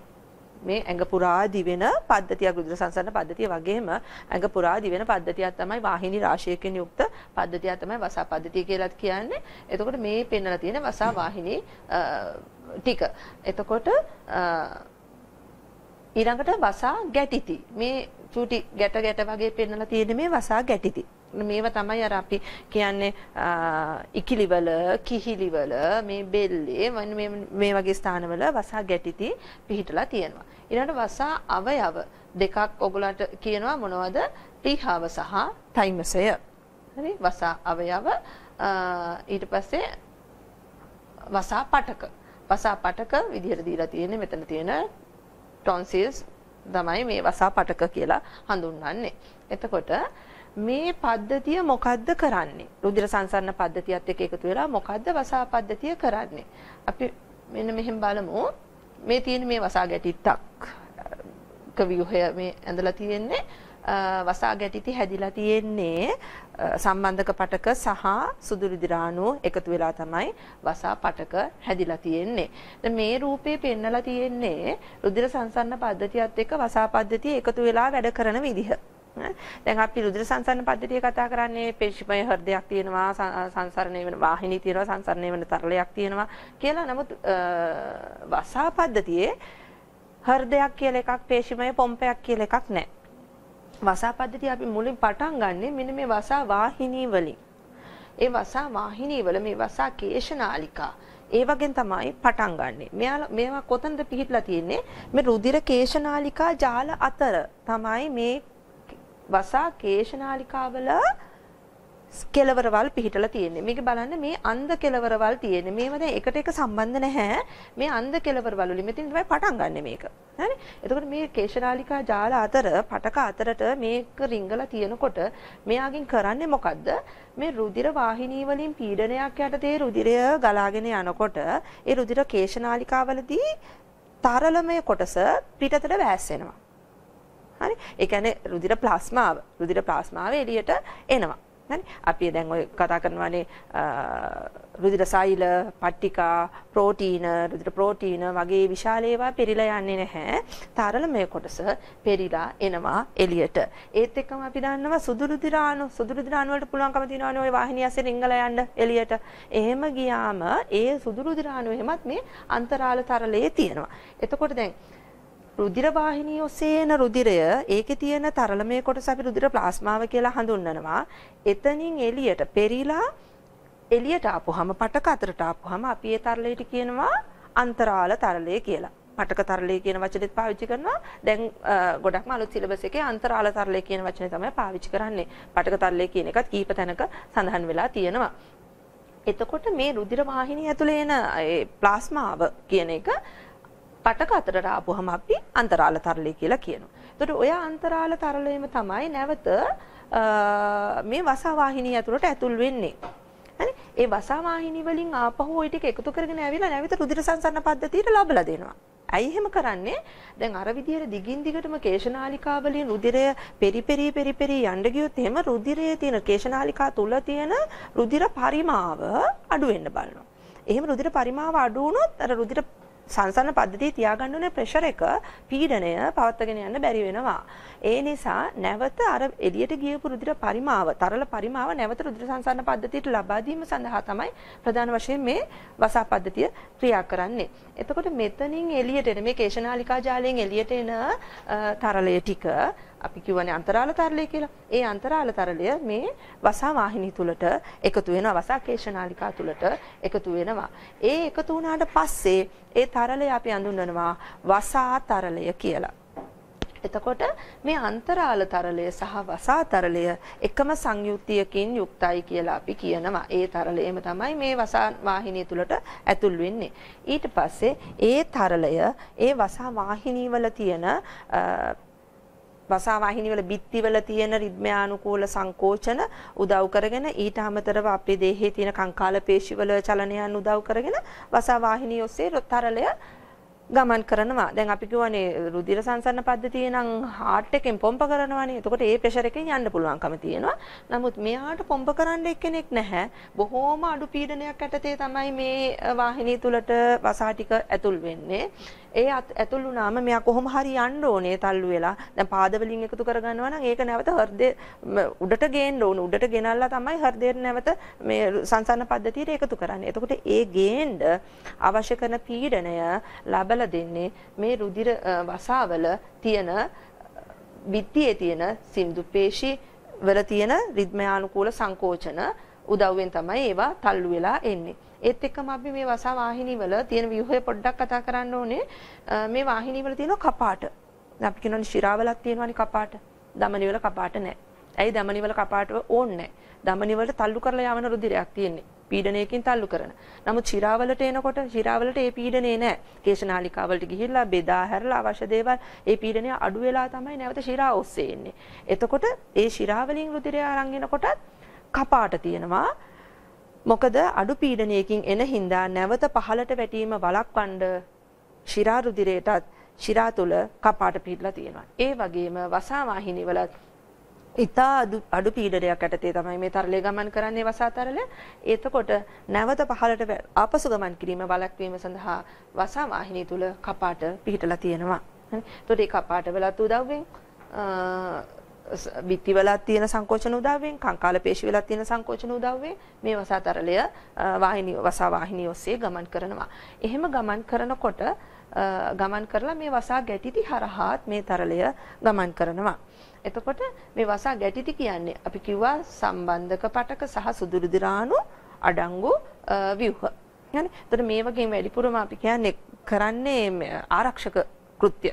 දේහයට ආරක්ෂක කෘත්‍ය සුදුරු දිරාණු වල ප්‍රධාන කාර්ය දේහයට ආරක්ෂාව සැපීමනේ ව්‍යාධි ජනකීන්ගෙන් ආරක්ෂාව. එතකොට මේ සංසරණය වන වසා තරලයේ සුදුරු දිරාණු තියෙනවා.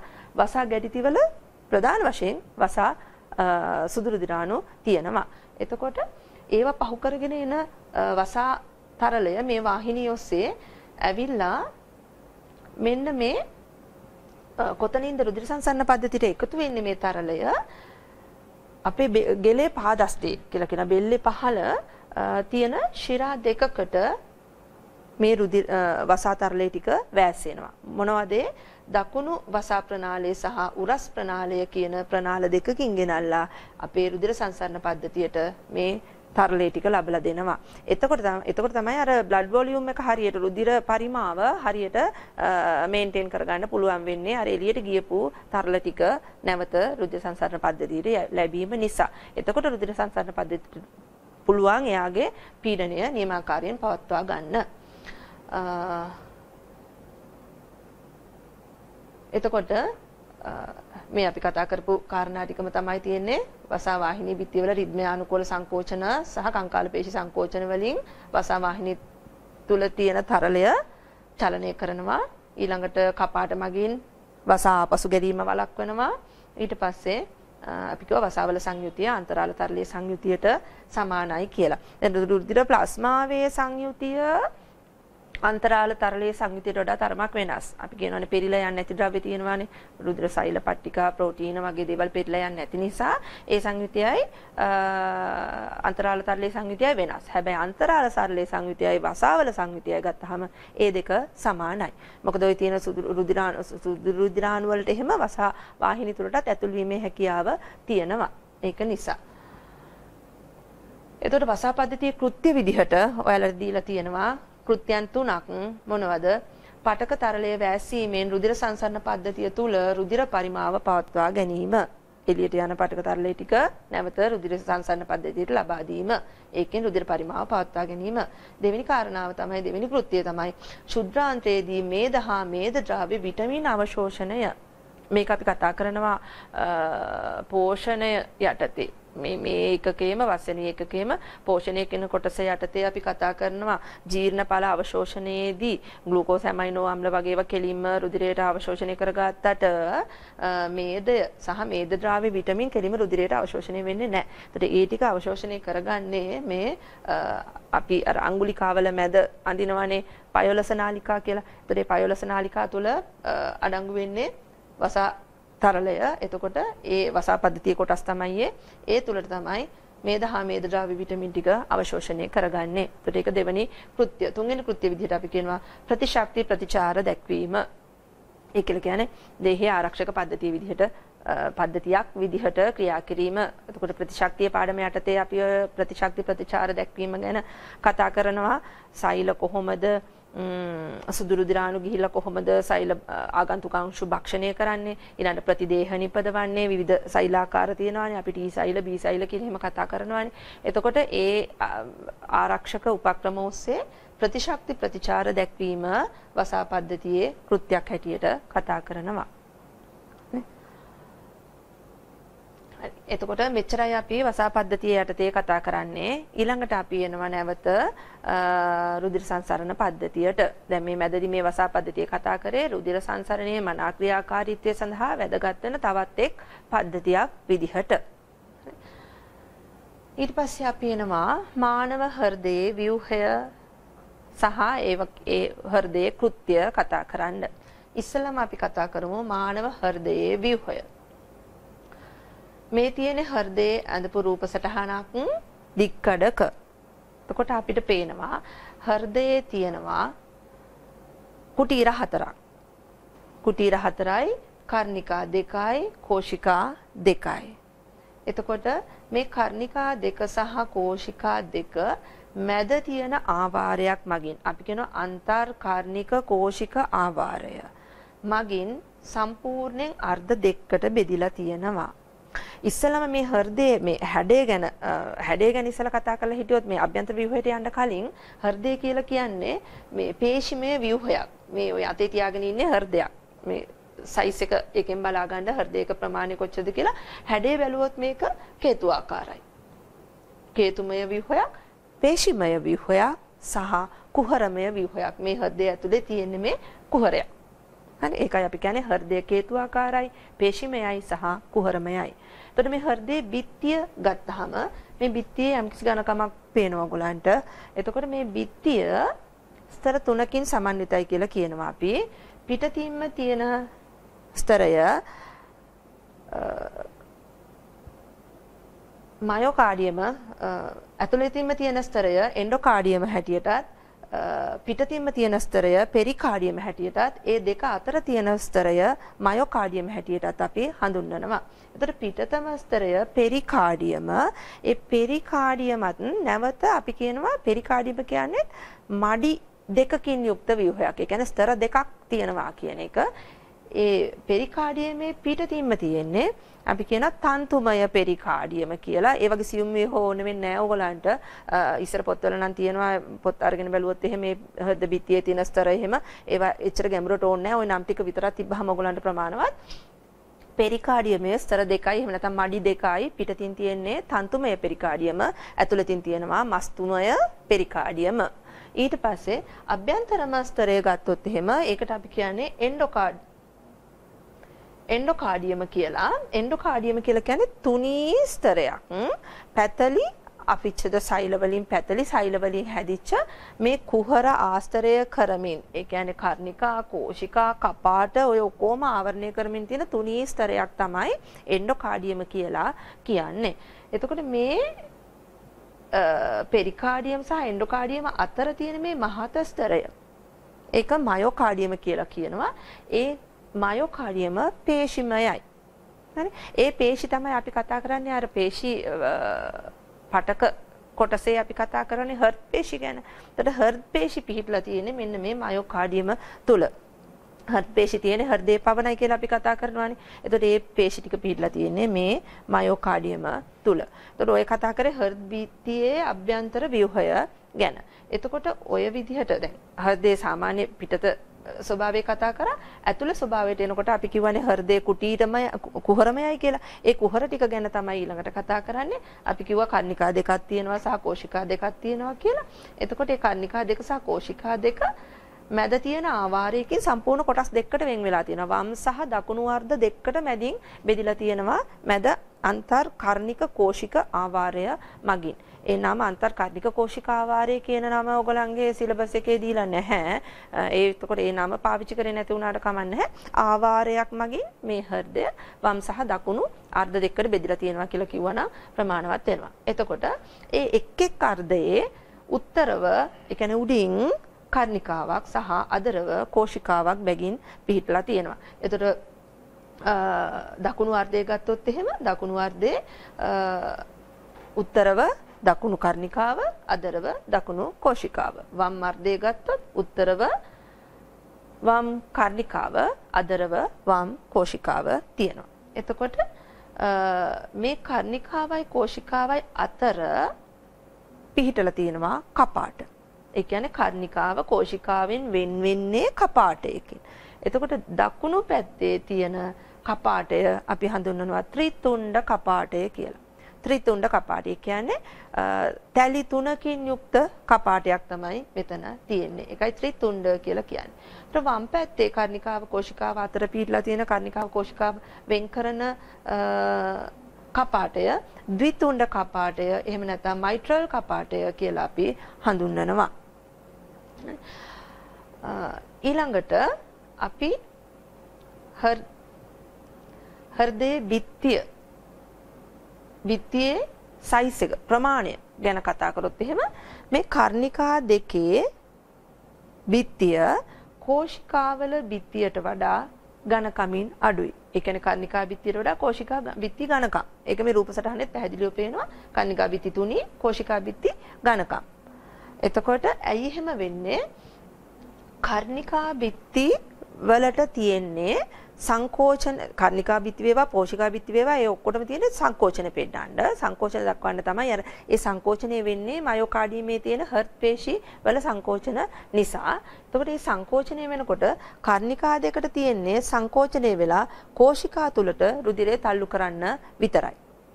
එතකොට ඒක නිසා පොඩි පීඩනයක් යෙදුවාම ඇති පොඩි ප්‍රෙෂර් එකක් දුන්නාම ඇති කෝෂිකා දෙකට රුධිරය බහින්න. හැබැයි කෝෂිකා වලට එහෙම නෙමෙයි කෝෂිකා වලින් හෘදයෙන් එළියට රුධිරය පොම්ප කරන්න ඕනේ වෙනවා. ඒ නිසා ඊ කර්ණිකා වලට වඩා වැඩි පීඩනයක් කෝෂිකා සංකෝචනයේදී යොදන්න සිද්ධ වෙනවා. ඒ නිසා කර්ණිකා බිත්ති වලට වඩා කෝෂිකා බිත්ති ඝනකමින් වැඩි. ඊළඟට මේ කෝෂිකා බිත්තිය ගත්තාම කෝෂිකා දෙකේ බිත්ති ගත්තාම දකුණු කෝෂිකාවේ බිත්තියට වඩා වම් කෝෂිකාවේ බිත්තිය ඝනකමින් වැඩි. ඇයි එහෙම වෙන්නේ මේක නම් මේ රූපේ තෝ මේකෙත් මෙහෙම පැහැදිලිව තියෙනවා ටිකක් මේ පැත්ත මේ ඝනකමින් වැඩි මේ පැත්තට වඩා. ඇයි එහෙම වෙන්නේ? වම් කෝෂිකා දකුණු කෝෂිකාවෙන් රුධිරය පොම්ප කරන්නේ මේ දෙපැත්තේ තියෙන පෙනහළු දෙකට. පිරිසිදු කරන්න යවන රුධිරය ටිකනේ මෙතන තියෙන්නේ. ඔක්සිජන් ඌන රුධිරයනේ. ඒක යවන්නේ අපි දෙපැත්තේ පෙනහළු දෙකට. එතකොට මේ හાર્ට් එකේ දෙපැත්තේ තමයි පෙනහළු දෙක තියෙන්නේ. එතකොට පොඩි දුරයි මෙයාට යවන්න ඕනේ වෙන්නේ. එතකොට හැබැයි වම් කෝෂිකාව ගත්තාම වම් කෝෂිකාවෙන් සංස්ථානික මහා දමනියට තමයි රුධිරය පොම්ප කරන්නේ. එතකොට සංස්ථානික දමනයෙන් තමයි මුළු දේහය පුරාම රුධිරය බෙදා හැරීම සිද්ධ කරන්නේ. එතකොට වම් කෝෂිකාවට ලොකු ප්‍රෙෂර් එකක් දෙන්න වෙනවා මහා දමනියට රුධිරය විදින්න මුළු දේහය පුරා රුධිරය ගෙනියන්න පුළුවන් තරම් පීඩනයක් ලබා දෙන්න. ඒතකොට ඒ සංකෝචන ඒ පීඩනය ලබා දෙන්න තරම් සංකෝචනය වෙන්න අවශ්‍ය නිසා තමයි මේ බිත්තිය වඩා ඝනකමින් පිහිටලා තියෙන්නේ. එතකොට ඒ අපි කතා කරේ බිත්තියේ ස්වභාවය ගැන. ඊළඟට අපි බලමු මේ වාහිනී ටික ගැන. හෘදයේ දකුණු කර්ණිකාවට වාහිනී දෙකක් විවෘත වෙනවා. මොනවද ඒ වාහිනී දෙක? උත්තර මහා ශිරාව සහ අදර මහා ශිරාව. උත්තර මහා ශිරාව කියලා කියන්නේ හිසේ සිට අත්වල සිට ඒ දේහයේ පූර්ව ඉහළ කොටස් වල ඉඳන් එන රුධිරය ඔක්සිජන් ඌන රුධිරය අරන් ඇවිල්ලා දෙන්නේ දකුණු කර්ණිකාවට ඒ දෙන්නේ පූර්ව මහා ශිරාව එහෙම නැත්නම් උත්තර මහා ශිරාව එක රූප සටහනක ඔයගොල්ලන්ගේ පොතේ නෝට් එකේ විස්තරේ තියෙනවා උත්තර මහා ශිරාව කියලා රූප සටහනක තියෙනවා පූර්ව මහා ශිරාව කියලා ගැටලුවක් කරගන්න එපා. ওই දෙකම එක නම තමයි පාවිච්චි කරන්නේ එකම ව්‍යුහයට. ඒ උත්තර මහා ශිරාවෙන් කර්ණිකාවට රුධිරය අරගෙන එනවා. ඊළඟට අනිත් විවරයේ තියෙන්නේ අදර මහා ශිරාවෙන් ශිරා විවරය. ඒ ශිරා මේ අදර මහා ශිරාව කියලා කියන්නේ දෙහේ අපර කොටස් වල ඉඳලා රුධිරය ඔක්සිජන් ඌන රුධිරය අරගෙන එන වාහිනිය. ඒක විවෘත වෙලා තියෙනවා දකුණු කර්ණිකාවට. ඊළඟට වම් කර්ණිකාව ගත්තහම වම් කර්ණිකාවේ විවර හතරක් බලා ගන්න පුළුවන් මොනවද ඒ විවර වම් කර්ණිකාවට විවෘත වෙන පෙනහළු වල සිට පිරිසිදු රුධිරය අරගෙන ඔක්සිජන් සහිත රුධිරය අරගෙන එන වාහිනී හතර. අපි කියනවා පුප්පුෂීය ශිරා හතර. පුප්පුෂීය ශිරා හතර විවෘත වෙනවා වම් කර්ණිකාවට. හරි? ඔතනත් ඔයාලගේ ওই රිසෝස් එකේ පොඩි අඩුපාඩුවක් තියෙනවා.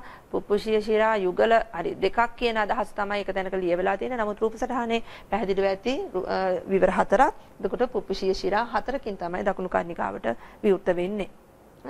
ඊළඟට කෝෂිකාවලට විවෘත වෙන විවර ගත්තොත් එහෙම මොනවද? දකුණු කෝෂිකාවෙන් පටන් ගන්නවා පුප්පුෂීය දමනිය එතකොට මේ පුප්පුෂීය දමනීය විවෘත වෙන්නේ දකුණු කෝෂිකාවේ ඉහළ කෙළවරට. එතකොට දකුණු කෝෂිකාවේ ඉහළ කෙළවරෙන් පුප්පුෂීය දමනීය පැන නගිනවා කියලා කිව්වනම් හරි. එතකොට මේ පුප්පුෂීය දමනීය පැන නගින තැන පුප්පුෂීය දමනීයේ මුලම කෙළවර තියෙනවා කපාටයක්. ඒ කපාටයට අපි කියනවා අඩසඳ කපාටය කියලා. එතකොට අඩසඳ කපාටය පුප්පුෂීය දමනියේ පිහිටලා තියෙන එක පුප්පුෂීය අඩසඳ කපාටය කියලා කියනවා. නමුත් ඒ නම පාවිච්චි කරලා නැහැ අලුත් සිලබස් එකේදී. එතකොට ඒ පුප්පුෂීය දමනිය ගිහිල්ලා හෘදයෙන් එළියට ආවට පස්සේ දෙකට බෙදිලා පෙන්හළු දෙකට රුධිරය අරගෙන යන විදිහට සකස් වෙලා තියෙන්නේ. ඊළඟට වම් කෝෂිකාවට විවෘත වෙන විවරයක් විදිහට දකිනවා අපි වම් කෝෂිකාවෙන් තමයි පෙන නගින්නේ මහා ධමනිය. එතකොට මහා ධමනියේ විවරයේ තියෙන වම් කෝෂිකාවේ ඉහළ කෙළවරේ තියෙනවා ඒ ඒ විවරයේ ආරම්භ වන ස්ථානයේ එතනත් පිහිටලා තියෙනවා අඩසඳ කපාටයක්. එතකොට පොදුවේ මේ කපාට දෙකම අඩසඳ කපාට පුපුෂී දමනියේ සහ මහා දමනියේ තියෙන කපාට දෙකම අඩසඳ කපාට කියලා හඳුන්වනවා. ඒක වෙන් කරලා හඳුන්වනවා නම් පුප්පුෂී අඩසඳ කපාටේ සහ සංස්ථානික අඩසඳ කපාටේ කියලා වෙන් කරලා හඳුන්වන්න පුළුවන්.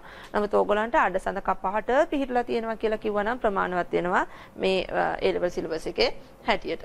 එතකොට දැන් එතකොට අපි කපාට වර්ග තුනක් කතා කරා හෘදයේ තියෙන ත්‍රිතුණ්ඩ කපාටය, දිතුණ්ඩ, එහෙම නැත්නම් මයිට්‍රල් කපාටය සහ අඩසඳ කපාට කියන ඒවා. හරි? එතකොට ඊළඟට අපි එනවා නැවත කෝෂිකා වල බිත්තියේ තියෙන ව්‍යුහ ටිකක් ගැන කතා කරන්න. ඒක මේ පින්තූරේ දීලා නැහැ ඕගලන්ට. මේ තියෙන හෘදයක් විවර කරපු හෘදයක්. මේක දැන් මේ මේ රූප සටහන් වල. දැන් මේ රූප සටහනේ තියෙන විදිහ නෙවෙයි දැන් ඇත්තටම කපලා බැලුවම මේ රූපේ තියෙන්නේ හાર્ට් එක. මේ ලොකුම ප්‍රමාණය මේ තියෙන්නේ කෝෂිකා. මෙන්න මේ හරිය තමයි මේ තියෙන්නේ කර්ණිකාව.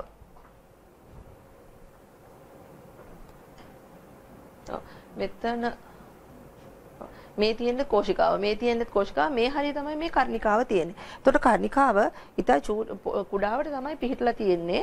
අපි රූප සටහන අඳිනකොට ඒකත් ටිකක් විශාල වඳිනවා රූප සටහන පැහැදිලිව අර ව්‍යුහ ටික පෙන්වන්න ඕනේ නිසා. එතකොට අපිට මේ වගේ එකක් අපිට රූපයක අඳින්න අමාරුයි. ඒකින්ද පුළුවන් තරම් අර රූපේ රූපේ ඇඳලා තියෙන විදිහට ඒක ප්‍රැක්ටිස් කරන්න. මේ හැබෑවට පිහිටලා තියෙන විදිහ මේ පෙන්වන්නේ. මේ තියෙන බිත්ති කෝෂිකා බිත්ති හරි? එතකොට මේ වම් කෝෂිකාවේ බිත්ති ඝනකම් වැඩියෙන් පිහිටලා තියෙනවා මේ දකුණු කෝෂිකාවේ බිත්ති. එතකොට දැන් අපි මේ රූපෙට ආවේ මෙන්න මේ ටික කතා කරන්න. කෝෂිකාවල තියෙනවා බිත්තියෙන් ඉහළට නෙරපු පිටිකා පේශී කියලා පේශි විශේෂයක්. මේ කෝෂිකා බිත්තියෙන් ඉහළට නෙරලා නෙරලා උල් වගේ පිහිටලා තියෙන පිටිකා පේශී. ඒ පිටිකා පේශි වලට සම්බන්ධ වෙලා තියෙනවා. අර අපි කියනවානේ කර්ණිකා සහ කෝෂිකා අතර තියෙනවානේ ද්විතුණ්ඩ සහ ත්‍රිතුණ්ඩ කපාට. ඒ කපාට වලට සම්බන්ධ වෙලා ඒ කපාට කෝෂිකා බිත්ති වලට සම්බන්ධ කරමින් පිහිටන හර්ද් රජ්ජු කියලා ව්‍යුහයක් තියෙනවා. මේ කෙඳි කෙඳි වගේ මේ පිහිටලා තියෙන්නේ ඒ හර්ද් රජ්ජු. කපාට කෝෂිකා බිත්ති වලට සම්බන්ධ කරමින් තමයි ඒ හර්ද් රජ්ජු පිහිටලා තියෙන්නේ. මොනවටද ඒ හර්ට් රජු පිහිටලා තියෙන්නේ මේ කපාටවල ක්‍රියාකාරීත්වය හොඳින් තියාගන්න මන පාලනය කරගන්න තමයි ඒ හර්ට් රජු පිහිටලා තියෙන්නේ. එතකොට දැන් අපි කියනවා කෝෂිකා සංකෝචනය වෙනකොට දමනියට රුධිරය මහා දමනි වලට එහෙම නැත්නම් පුපුසිය දමනි වලට රුධිරය විදිනකොට මේ කර්ණිකා කෝෂිකා දෙක වැහෙන්න ඕනේ මෙතන. එහෙම නැත්නම් කෝෂිකාවේ තියෙන රුධිරය ටික නැවත මහා ධමනියට යනවත් එක්කම උඩ තියෙන කර්ණිකාවටත් ආපහු තල්ලු වෙලා යන්න පුළුවන්. එතකොට කපාටේ වැහිලා තමයි කර්ණිකාවට රුධිරය යන එක බලක්වන්නේ. හැබැයි කෝෂිකාව ඊතා වේගයෙන් සංකෝචනය වෙනකොට ඒ සංකෝචනයත් එක්ක මේ කපාටේ වැහෙන්න යනකොට වැහෙන එක ඉක්මවා නැවත අනිත් පැත්තට ඇරිලා යන්නත් පුළුවන් තරම් පීඩනයකින් මේ කෝෂිකා සංකෝචනය වෙනවා. එතකොට මේ කපාටේ අනිත් පැත්තට ඇරෙන එක නවත්ත ගන්න තමයි මේ හර්ට් රජ්ජුව පිළිලා තියෙන හර්ට් රජ්ජුව වලින් කෝෂිකා බිත්ති වලට අල්ලලා බැඳගෙන ඉන්නවා කපාටය. ඒක නිසා කපාටේ වැහෙනවා මිසක් අනිත් පැත්තට ඇරෙන්නේ නැහැ. එතකොට කපාට වල මනා ක්‍රියාකාරීත්වය පවත්වාගෙන යන්න තමයි මේ කෝෂි හර්ට් රජ්ජුව පිළිලා තියෙන්නේ.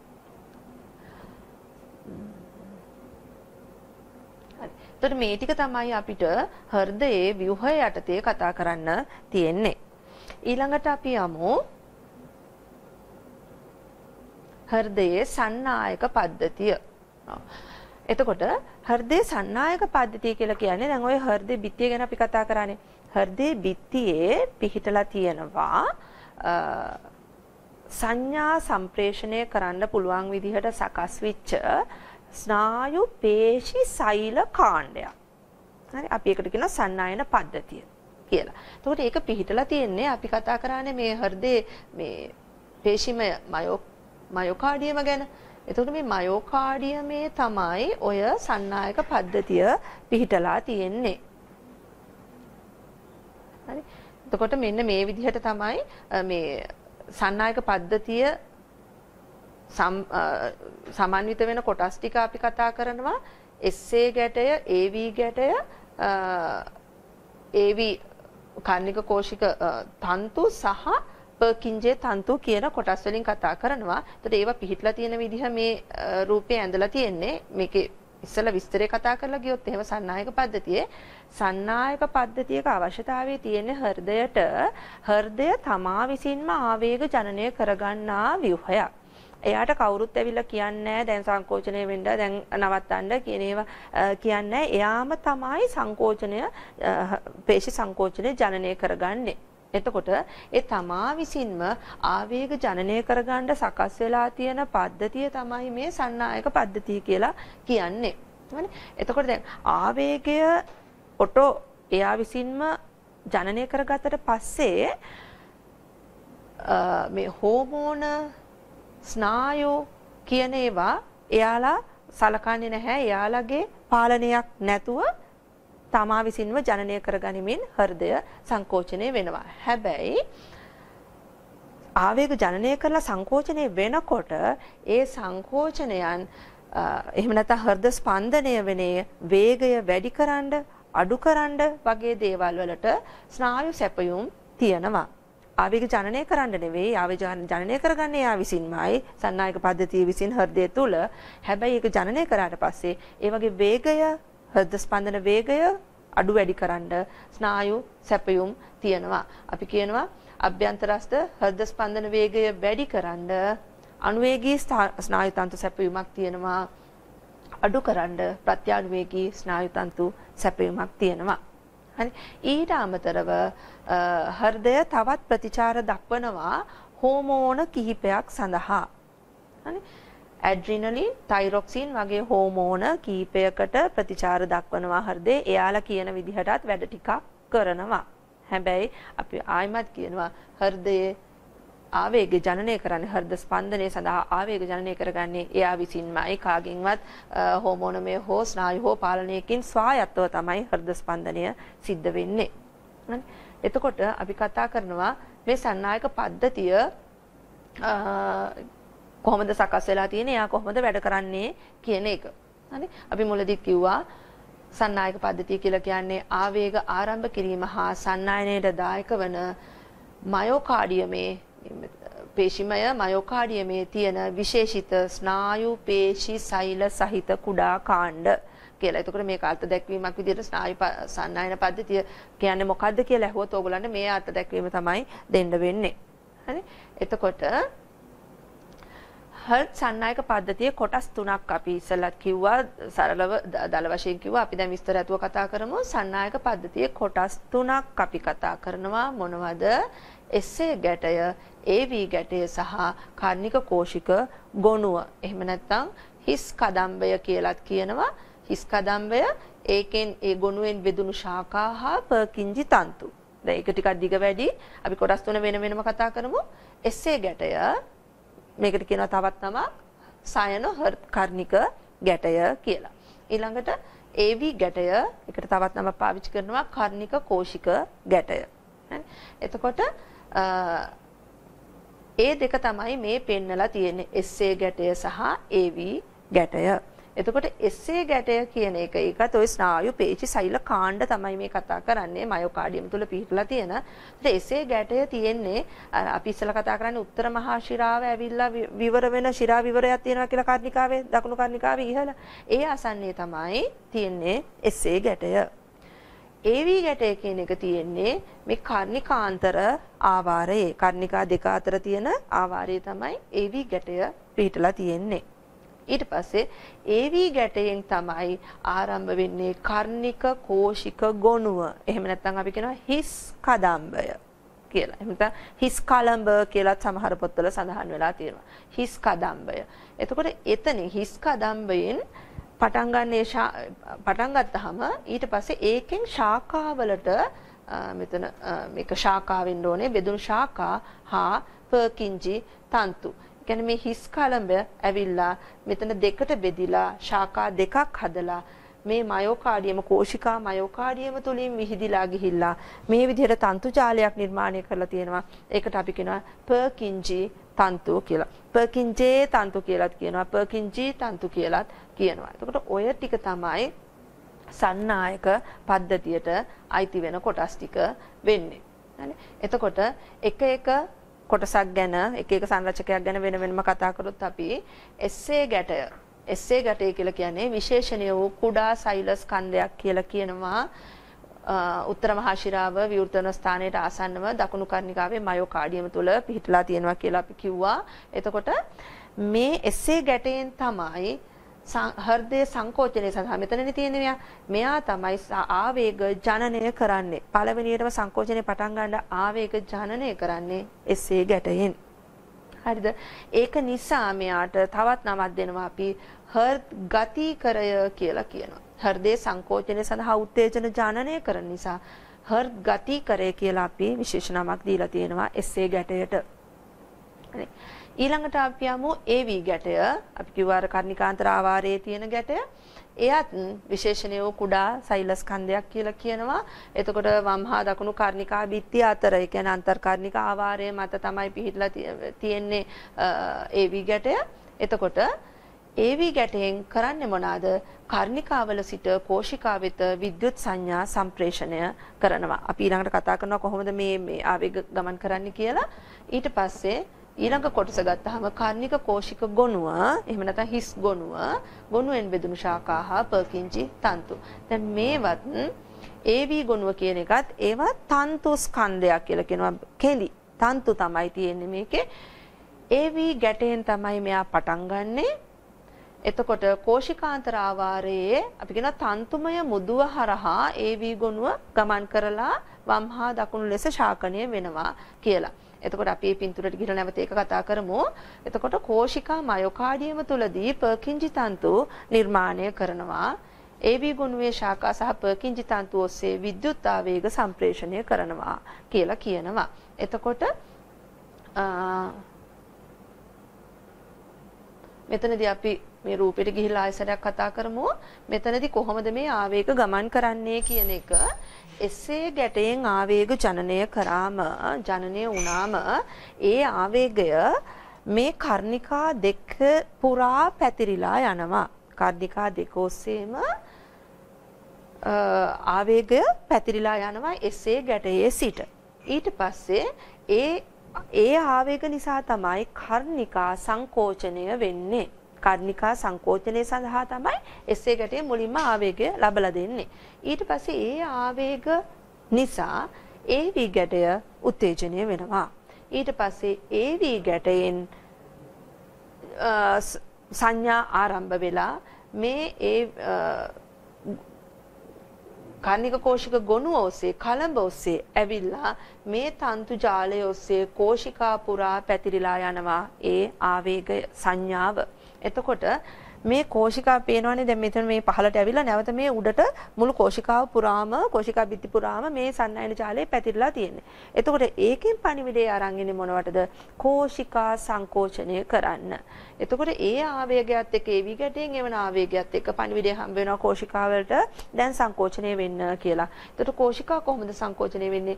කෝෂිකා ටික මේ පහළින්දන් උඩට තමයි සංකෝචන තරංග ඇති කරන්නේ. ඒ තියෙන රුධිරය ටික වාහිනී වලට ඇතුල් කිරීම සඳහා. එතකොට කෝෂිකා සංකෝචනය ආරම්භ කරන්නේ මේ කෝෂිකා පුරා පැතිරලා තියෙන අර සන්නයන තන්තු ජාලය මගින්. හරි. එතකොට ওই ටික තමයි අපි හෘදේ සන්නායක පද්ධතිය ගැන කතා කරන්නේ. දැන් අපි බලමු හර්ට් ඊළඟ මාතෘකාව හර්ට් චක්‍රය.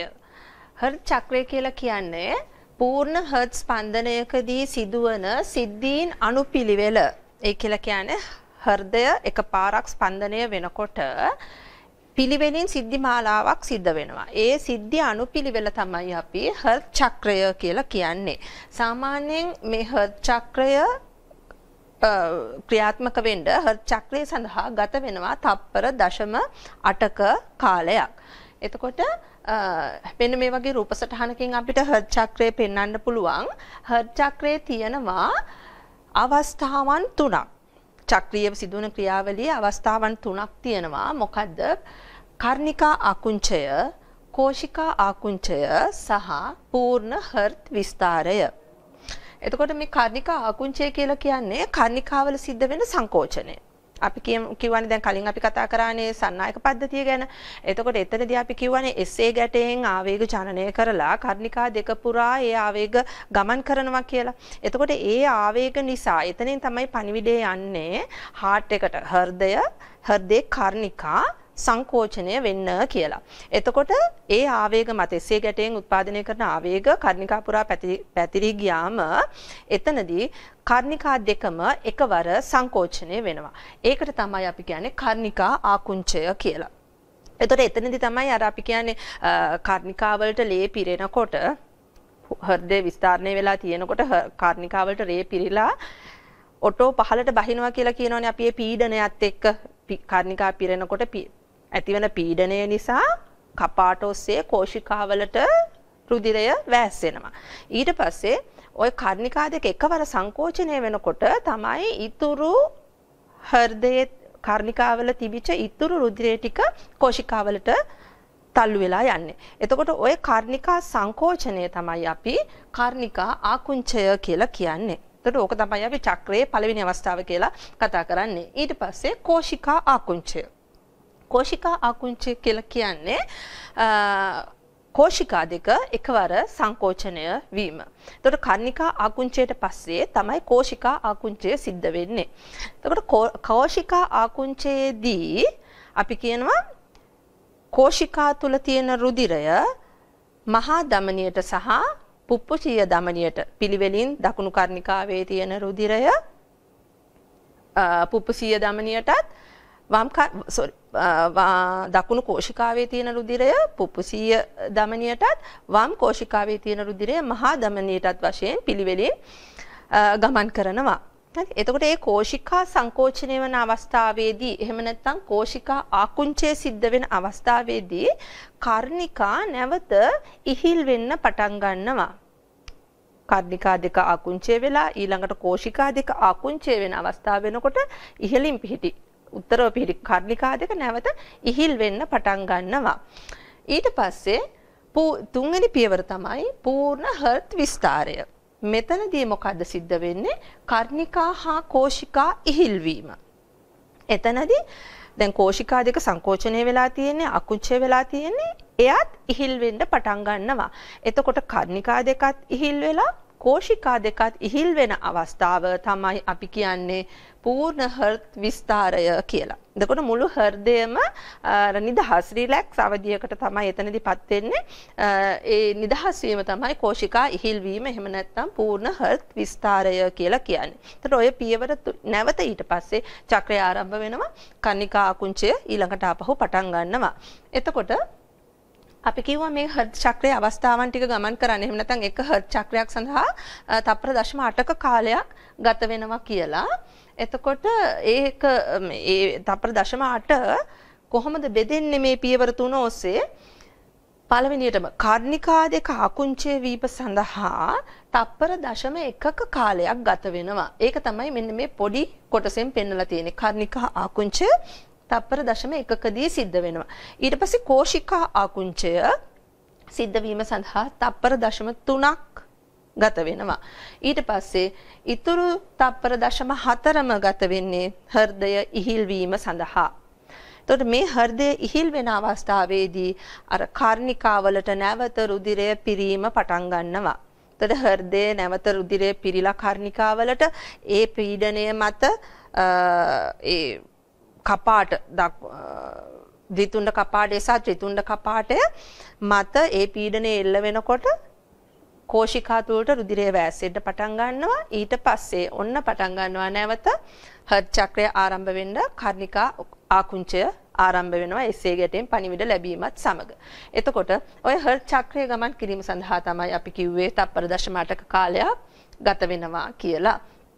එතකොට අපි කියනවා මෙන්න මෙහෙම කාරණාවක් නිරෝගී වැඩිහිටියෙකු විවේකීව සිටින විට හර්ට් ස්පන්දන වේගය මිනිත්තුවකට ස්පන්දන 60 සිට 70ක් පමණ වෙනවා කියලා කියනවා. අපි දැන් මේ හර්ට් ස්පන්දන වේගය කියලා කියන්නේ අපි heart beat එක කියලා කියන්නේ හෘදේ ගැහෙන වාර ගන්න අපි ඔය දල වශයෙන් කියනවානේ විනාඩියකට يعني මිනිත්තුවකට ස්පන්දන නාඩි වැටෙනවා 72ක් කියලා.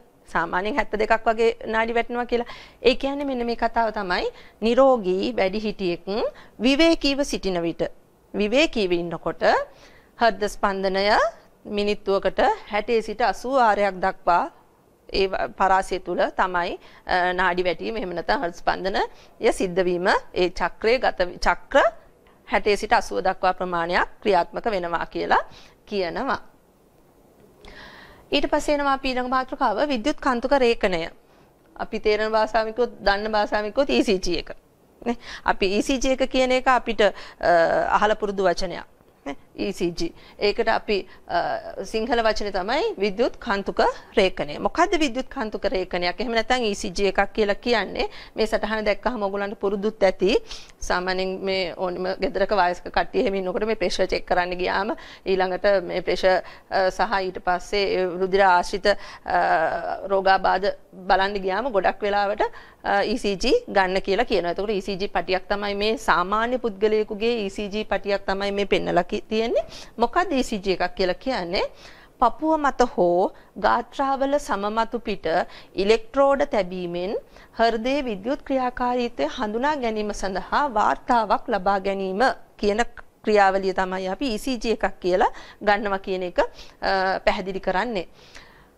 කොහොමද මේ හાર્ට් එකේ හෘදයේ සිද්ධ වෙන ස්පන්දනයන්ගේ විද්‍යුත් ක්‍රියාකාරීත්වය කොහොමද අපි එළියට සංවේදී විදිහට එළියට ගන්නෙ කොහොමද?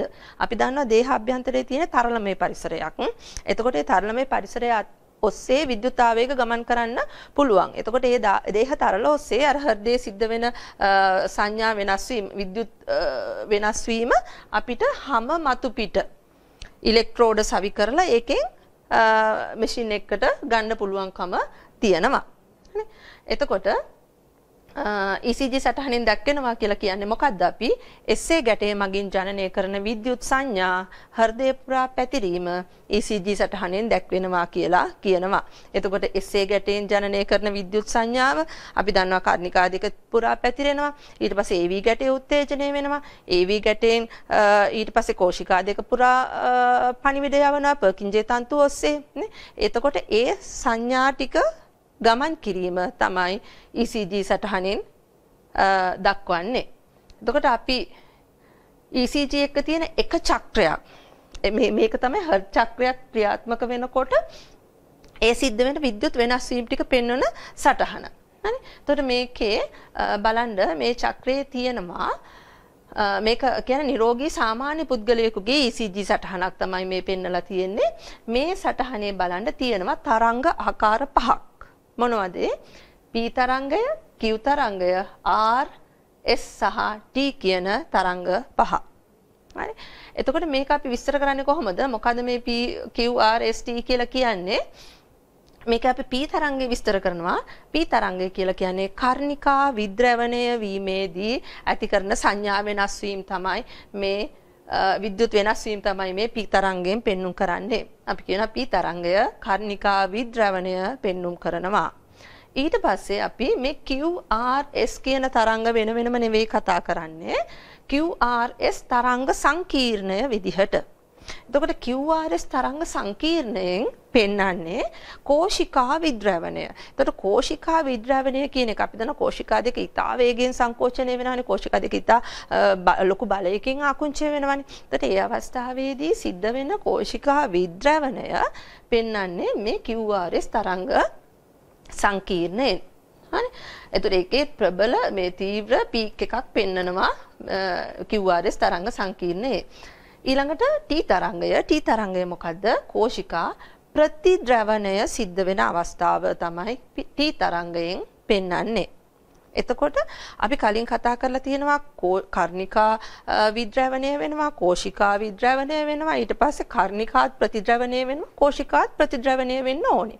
ඒ වුණාට දැන් මෙතනදී කර්ණිකා විද්‍රවණය තියෙනවා කෝෂිකා විද්‍රවණය තියෙනවා ඊට පස්සේ කෝෂිකා ප්‍රතිද්‍රවණය විතරයි තියෙන්නේ කර්ණිකා ප්‍රතිද්‍රවණය කියලා එකක් මේකේ නැහැ. ඇයි එහෙම වෙලා තියෙන්නේ?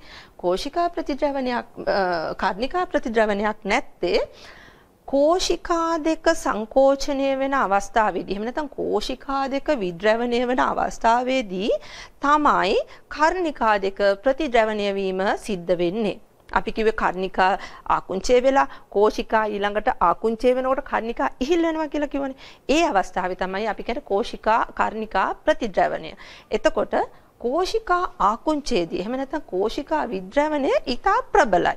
එතකොට ප්‍රබල සංකෝචන පෙන්වන්නේ. එතකොට ඒ ප්‍රබල සංකෝචනයේ ප්‍රබල විද්‍රවණය හමුවේ කර්ණිකාවල ප්‍රතිද්‍රවණය සැඟ වෙලා යනවා. ඒක නිසා මේ ECG සටහනේ මේ කොටසේ කෝෂික මේ කර්ණිකා ප්‍රතිද්‍රවණය පෙන්눔 කරන්නේ නැහැ. එතකොට මේ ටික මේ කියන සිද්ධි ටික තමයි මේ තරංග පහෙන් පෙන්눔 කරන්නේ. ඊළඟට අපි ඊළඟ මාතෘකාවට යමු රුධිර පීඩනය. මොකද්ද රුධිර පීඩනය කියලා කියන්නේ? රුධිරය වාහිනී තුල ගමන් කිරීමේදී රුධිරය මගින් එම වාහිනී බිත්ති මත ඇති කරන පීඩනය රුධිර පීඩනය කියලා කියනවා. හරි රුධිරය වාහිනිය තුල ගමන් කරනකොට ඒ වාහිනී බිත්ති මත යම්කිසි පීඩනයකින් අපි දන්නවා හાર્ට් එක සංකෝචනය ආකුංචය වෙලා වේගෙන් පීඩනයක් ඇතුව විදිනවා මහා ධමනිය තුලට රුධිරය. එතකොට ඒක තුලින් යන රුධිරය ලොකු පීඩනයක් දෙනවා. එතකොට ඒ පීඩනය එල්ල වෙන්නේ බිත්ති මත. හරි. එතකොට ඒ පීඩනය තමයි රුධිර පීඩනය කියලා කියන්නේ.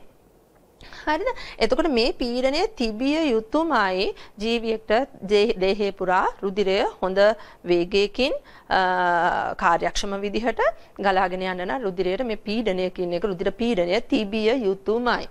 එතකොට සංස්ථානික සංසරණයේදී ධමනිවල ඇති රුධිර පීඩනය මගින් දේහයේ අවයව තුලට හා පිටතට සිදුවන අත්‍යවශ්‍ය රුධිර ගැලීම පවත්වා ගන්නවා කියලා කියනවා.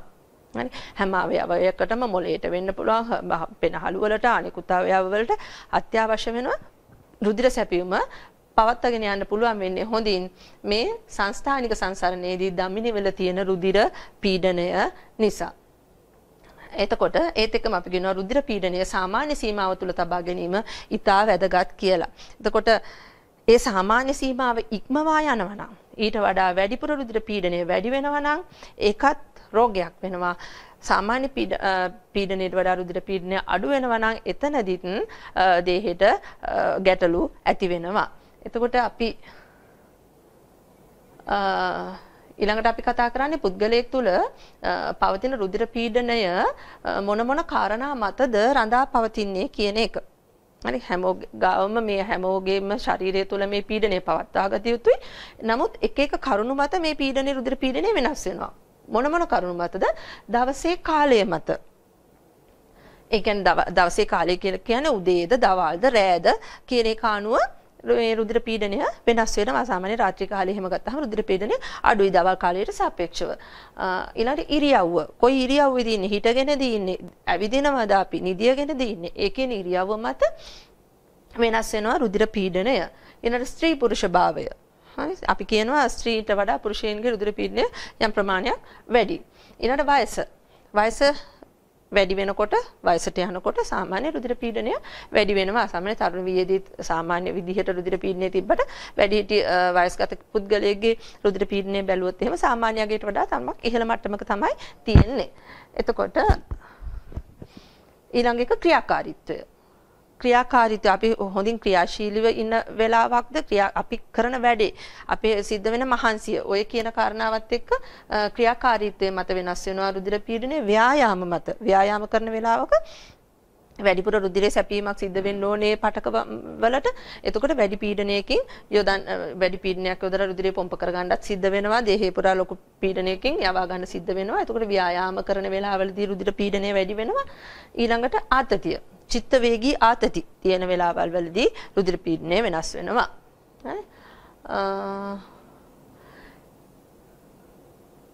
හරි. ඊළඟට අපි දැන් කතා කරා රුධිර පීඩනය රුධිර පීඩනය අර රුධිර වාහිනී බිත්ති මත රුධිර ගමන් කිරීමේදී වාහිනී බිත්ති මත ඇති කරන පීඩනය කියලානේ කිව්වේ. එතකොට ඒ පීඩනය අපි අවස්ථා දෙකකින් කතා කරනවා. එකක් තමයි ආකුංච පීඩනය අනිත් එක තමයි විස්තාර පීඩනය. මොකද ආකුංච පීඩනය කියලා කියන්නේ වම් කෝෂිකාව සංකෝචනය වී මහා ධමනිය වෙත රුධිරය තල්ලු කළ හැීමේදී ධමනි පද්ධතිය තුල නිපද වෙන පීඩනය. ඒ කියන්නේ කෝෂිකා ආකුංචය වෙලා මහා ධමනිය වෙත ඒ කියන්නේ වම් කෝෂිකාව ආකුංචය වෙලා මහා ධමනිය වෙත රුධිරය පොම්ප කරනකොට රුධිරය තල්ලු කරනකොට ඒ වෙලාවේදී ඒ ධමනි බිත්ති මැද රුධිර සංසරණ පද්ධතියේ ධමනි පද්ධතිය තුල ගොඩනැගෙන පීඩනය තමයි ආකුංච පීඩනය කියලා කියන්නේ. ඊළඟට එතනදී අපි ආකුංච පීඩනය අගයකින් දක්වනවා රසදිය මිලිමීටර් 120ක් කියලා විවේකීව සිටින විට සාමාන්‍ය නිරෝගී වැඩිහිටියෙකුගේ ආකුංච පීඩනය රසදිය මිලිමීටර් 120ක් කියලා කියනවා. එතකොට මේවා ටිකක් මේ මතක තියාගන්න ඕනේ මේ විවේක සාමාන්‍ය නිරෝගී වැඩිහිටියෙක් විවේකීව සිටින අවස්ථාවේදී මොකද එහෙම කියන්නේ රෝගී අවස්ථාවලදී මේක වෙනස් වෙන්න පුළුවන්. හරි ළමයිගේ පොඩි අයගේ තරුණ අයගේ වැඩිහිටි අයගේ අපික වයසත් එක්ක මේ පීඩනය වෙනස් වෙන්න පුළුවන්. එහෙම නැත්නම් මේ විවේකීව සිටින විට කියලා කියන්නේ ක්‍රියාකාරීත්වයත් එක්ක තම ක්‍රියාකාරීත්වය වැඩි වෙලාවක් නම් ව්‍යායාම කරන වෙලාවක් නම් මේක වෙනස් වෙන්න පුළුවන්. ඒක නිසා අපි ආකුංච පීඩනය අර්ථ දක්වනකොට මේ රසදිය මිලිමීටර් 120යි කියලා කියන්නේ සාමාන්‍ය නිරෝගී වැඩිහිටියේ විවේකීව සිටින විට තියෙන ආකුංච පීඩනය තමයි මේ 120යි රසදිය මිලිමීටර් කියලා කියන්නේ. ඊළඟට අපි යනවා විස්තර පීඩනයට. මොකද විස්තර පීඩනය කියලා කියන්නේ පූර්ණ හර්ට් විස්තරණයකදී රුධිරේ පිටවීමක් සමග ඒ කියන්නේ හෘදය විවේකී අවස්ථාවේදී දමනි තුල ඇතිවන පීඩනය. අර පීඩනයක ප්‍රෙෂර් එකකින් දමනි වලට පොම්ප කරන වෙලාවෙ නෙවෙයි හෘදේ විස්තරණය වෙලා තියෙන වෙලාවට ඒ වෙලාවේදී දමනි තුල යම්කිසි පීඩනයක් පවතිනවා. පීඩනය නැති වෙන්නේ නැහැ. පීඩනයක් පවතිනවා. ඒ පීඩනය තමයි අපි කියන්නේ විස්තර පීඩනය කියලා. එතකොට මේ විස්තර පීඩනය සාමාන්‍ය නිරෝගී වැඩිහිටියෙකුගේ විස්තර පීඩනය රසදිය මිලිමීටර් 80ක් පමණ වෙනවා කියලා අපි කියනවා. එතකොට අපි කොයි විදිහටද මේක මේ ඉදිරිපත් කරන්නේ මේ රුධිර පීඩනය කියලා බැලුවොත් එහෙම රුධිර පීඩනය සටහන් කරන්නේ අපි රසදිය මිලිමීටර් 120 80 අපි කියන්නේ 120යි 80යි කියලා කියන්නේ මේ 120යි 80යි කියලා කියන්නේ මොකද්ද? ආකුංච පීඩනය විස්තර ආකුංච පීඩනය බෙදීම විස්තර පීඩනය කියන ප්‍රකාශය තමයි අපි මේ විදිහට පෙන්눔 කරන්නේ. ආකුංච පීඩනය සාමාන්‍යයෙන් අපි කියන්නේ 120යි කියලා. විස්තර පීඩනය 80යි 120 බෙදීම 80 රසදිය මිලිමීටර්. ඒක තමයි ඒ විදිහට තමයි අපි රුධිර පීඩනය සටහන් කරන්නේ. හරි එතකොට මේ පීඩනය සාමාන්‍ය මේ දමනි රුධිර පීඩනය මනින්න තියෙන උපකරණය තමයි ස්පිග්මෝමැනෝමීටරය කියලා කියන්නේ. ඊළඟට අපි කතා කරන්නේ අධ්‍යාත්තිය සහ මන්දාතතිය කියලා. අපි දැන් කිව්වා රුධිර පීඩනය සංසරණ පද්ධතිය තුළ පීඩනයක් අනිවාර්යයෙන්ම පැවතිය යුතුයි කාර්යක්ෂම ද්‍රව්‍ය පරිවහනයක් සඳහා දේහයක් තුළ. එතකොට අධ්‍යාතතිය කියලා කියන්නේ ඔය සාමාන්‍ය සීමාව ඉක්මවා රුධිර පීඩනය ගමන් කරනවා නම්. අපි ඒක අර්ථ දැක්වීමක් හැටියට කියනවා නම් අධ්‍යාතතිය කියලා කියන්නේ සාමාන්‍ය මට්ටමට වඩා ඉහළ රුධිර පීඩනයක් කාලයක් තිස්සේ පැවතීම. අධ්‍යාතතිය කියලා හඳුන්වනවා. එතකොට මෙන්න මෙතන කාලයක් තිස්සේ පැවතීම කියන එක එක වැදගත්. මොකද සාමාන්‍ය මට්ටමට වඩා ඉහළ රුධිර පීඩනයක් දීර්ඝ කාලයක් තිස්සේ කාලයක් තිස්සේ පවතිනවා නම් තමයි අපි කියන්නේ ඒක අධි රුධිර පීඩන තත්වයක්. එහෙම නැත්නම් අධ්‍යාතතියක් කියලා. දැන් අපි කියනවානේ අපි ක්‍රියාකාරීත්වය අනුව ව්‍යායාම අනුව දවසේ වේලාව අනුව එහෙම වෙනස් වෙනවා කියලා මේ රුධිර පීඩනය. ඒතර ඒ කියන කතන්දරේ නෙවෙයි. ඒ වෙලාවට එහෙම රුධිර පීඩනය වැඩි වුණත් නැවත ඒක සාමාන්‍යයකටපත් වෙනවා. නමුත් එහෙම නැතුව සාමාන්‍ය මට්ටමට වඩා ඉහළ රුධිර පීඩනයක් ගොඩක් කාලයක් කාලයක් තිස්සේ පවතිනවා නම් ඒකට අපි කියනවා අධ්‍යාතතිය කියලා. එතකොට මේ අධ්‍යාතතිය නිසා ඇතිවන බලපෑම් කීපයක් ඔයගලන්ට සිලබස් එකේ කතා කරන්න දීලා තියෙනවා විස්තර කතා කිරීම අවශ්‍ය වෙන්නේ නැහැ.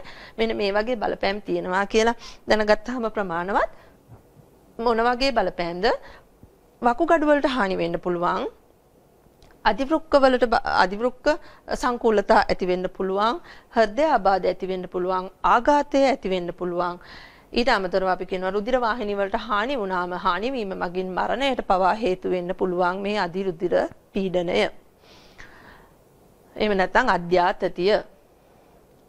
ඊට පස්සේ අපි කතා කරන්නේ අධ්‍යාතතිය ඇති වෙන්න මොන වගේ සාධකද බලපාන්නේ හේතු වෙන්නේ මොන වගේ සාධකද කියලා ස්ථූලතාව ඒ කියන්නේ මහතින් වැඩිවීම මහත වීම නිසා අධ්‍යාතතිය ඇති වෙනවා මදුමේහය පෞල් ඉතිහාසය දුම්වීම ක්‍රියාශීලීත්වයෙන් අඩු ජීවන පැවැත්ම අධික ලුණු පරිභෝජනය අධික ලුණු පරිභෝජනය මේ වචන ගැන සැලකිලිමත් වෙන්න. අධික ලුණු පරිභෝජනය අධික මධ්‍යසාර පරිභෝජනය සහ දමනි බිත්ති මත අඩු ඝනත්ව ලිපෝප්‍රෝටීන් තැන්පත් වීම. එතකොට මේ වගේ පිළිතුරු දැන් ගොඩක් වෙලාවට මේවා අහන්නේ ව්‍යුහගත රචනා වගේ තැන්වලදී අහනවා MCQ වලටත් අහන්න පුළුවන්.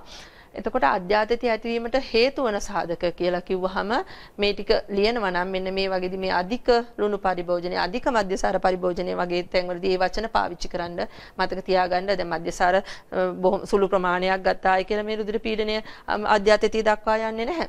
ලුණු සාමාන්‍ය අඩු ප්‍රමාණයක් කෑවායි කියලා මෙහෙම යන්නේ නැහැ. අධ්‍යාත්මික දක්වා අධික පරිභෝජනය නිසා තමයි මේ මේ සිදුවීම සිද්ධ වෙන්නේ.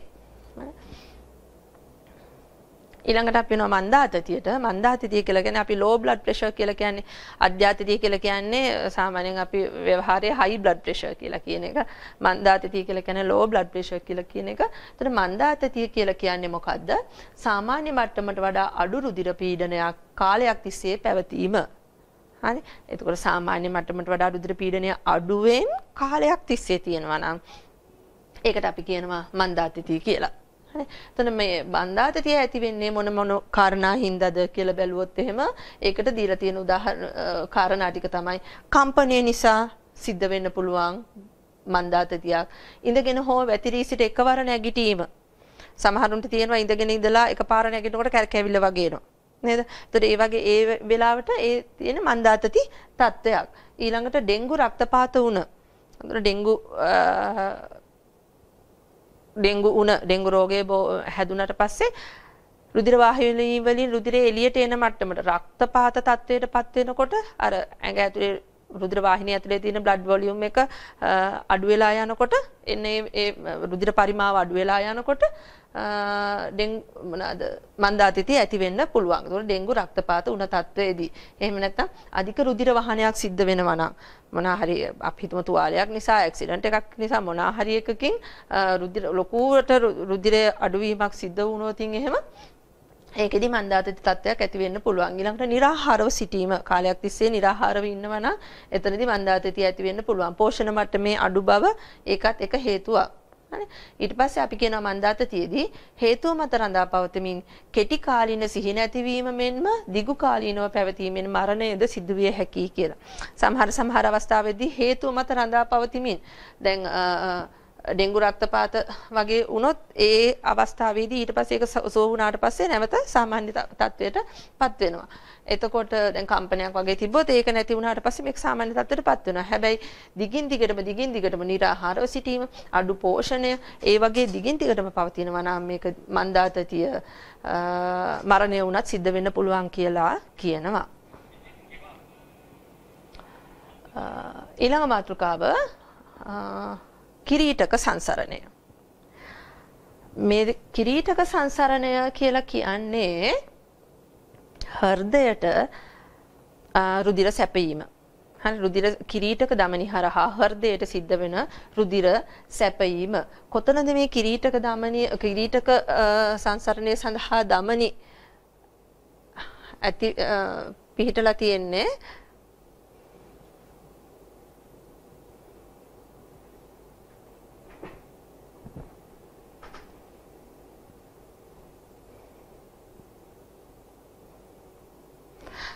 හරි. මේ රූප සටහන බැලුවොත්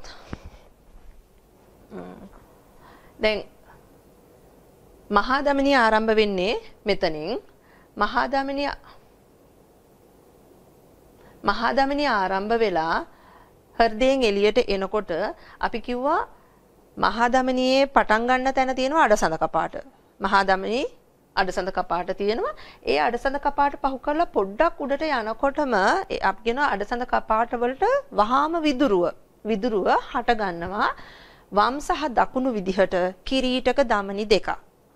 හෘදයට රුධිර සපයන කිරීටක දමනි දෙකක්. එතකොට මේ කිරීටක දමනි වලින් තමයි මේ හෘද පේශි වලට රුධිරය සපයන්නේ. මේ පෙන්නලා තියෙන්නේ ඒ දමනි. හරි එතකොට ඒ ධමනි වලින් හෘද පේශි වලට රුධිරය සැපුවාට පස්සේ හෘදේ වැඩ කටයුතු ඉවර වුණාම පෝෂ්‍ය ද්‍රව්‍ය ටික සපයලා ඔක්සිජන් ටික සපයලා ඊට පස්සේ රුධිරය ටික නැවත හෘදේ දකුණු කර්ණිකාවට ගෙනත් දෙන්න ඕනේ. ඒ ගෙනත් දෙන්නේ මේ හෘදේ තියෙන මේ ශිරා පද්ධතිය මගින්.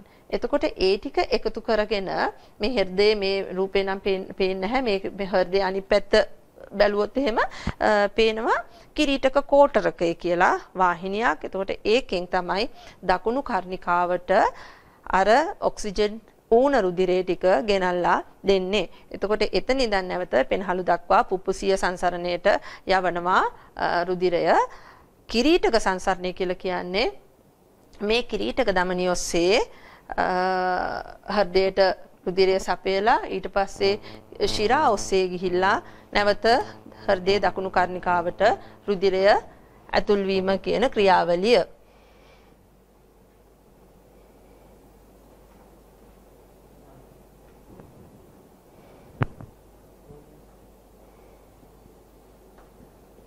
කිරීටක සංසරණය එතකොට මෙතනදි කියනවා තව එක කාරණාවක් තියෙනවා. දැන් අපි කියන ශිරා රුධිරයෙන් ලොකු කොටසක් අර කිරීටක කෝටරකය හරහා දකුණු කර්ණිකාවට ලැබෙනවා. හැබැයි ඒකේ පොඩි කොටසක් තියෙනවා. ඒ ඉතිරි කොටස කුඩා ශිරානාලිකා වලින් කෙලින්ම හර්ත් කුටීරවලට යොමු වෙනවා කියලා කියනවා. දැන් කිරීටක කෝටරකයට වැඩි හරිය එකතු කරගෙන ඇවිල්ලා කිරීටක කෝටරකය ඔස්සේ දකුණු කර්ණිකාවට සපයනවා.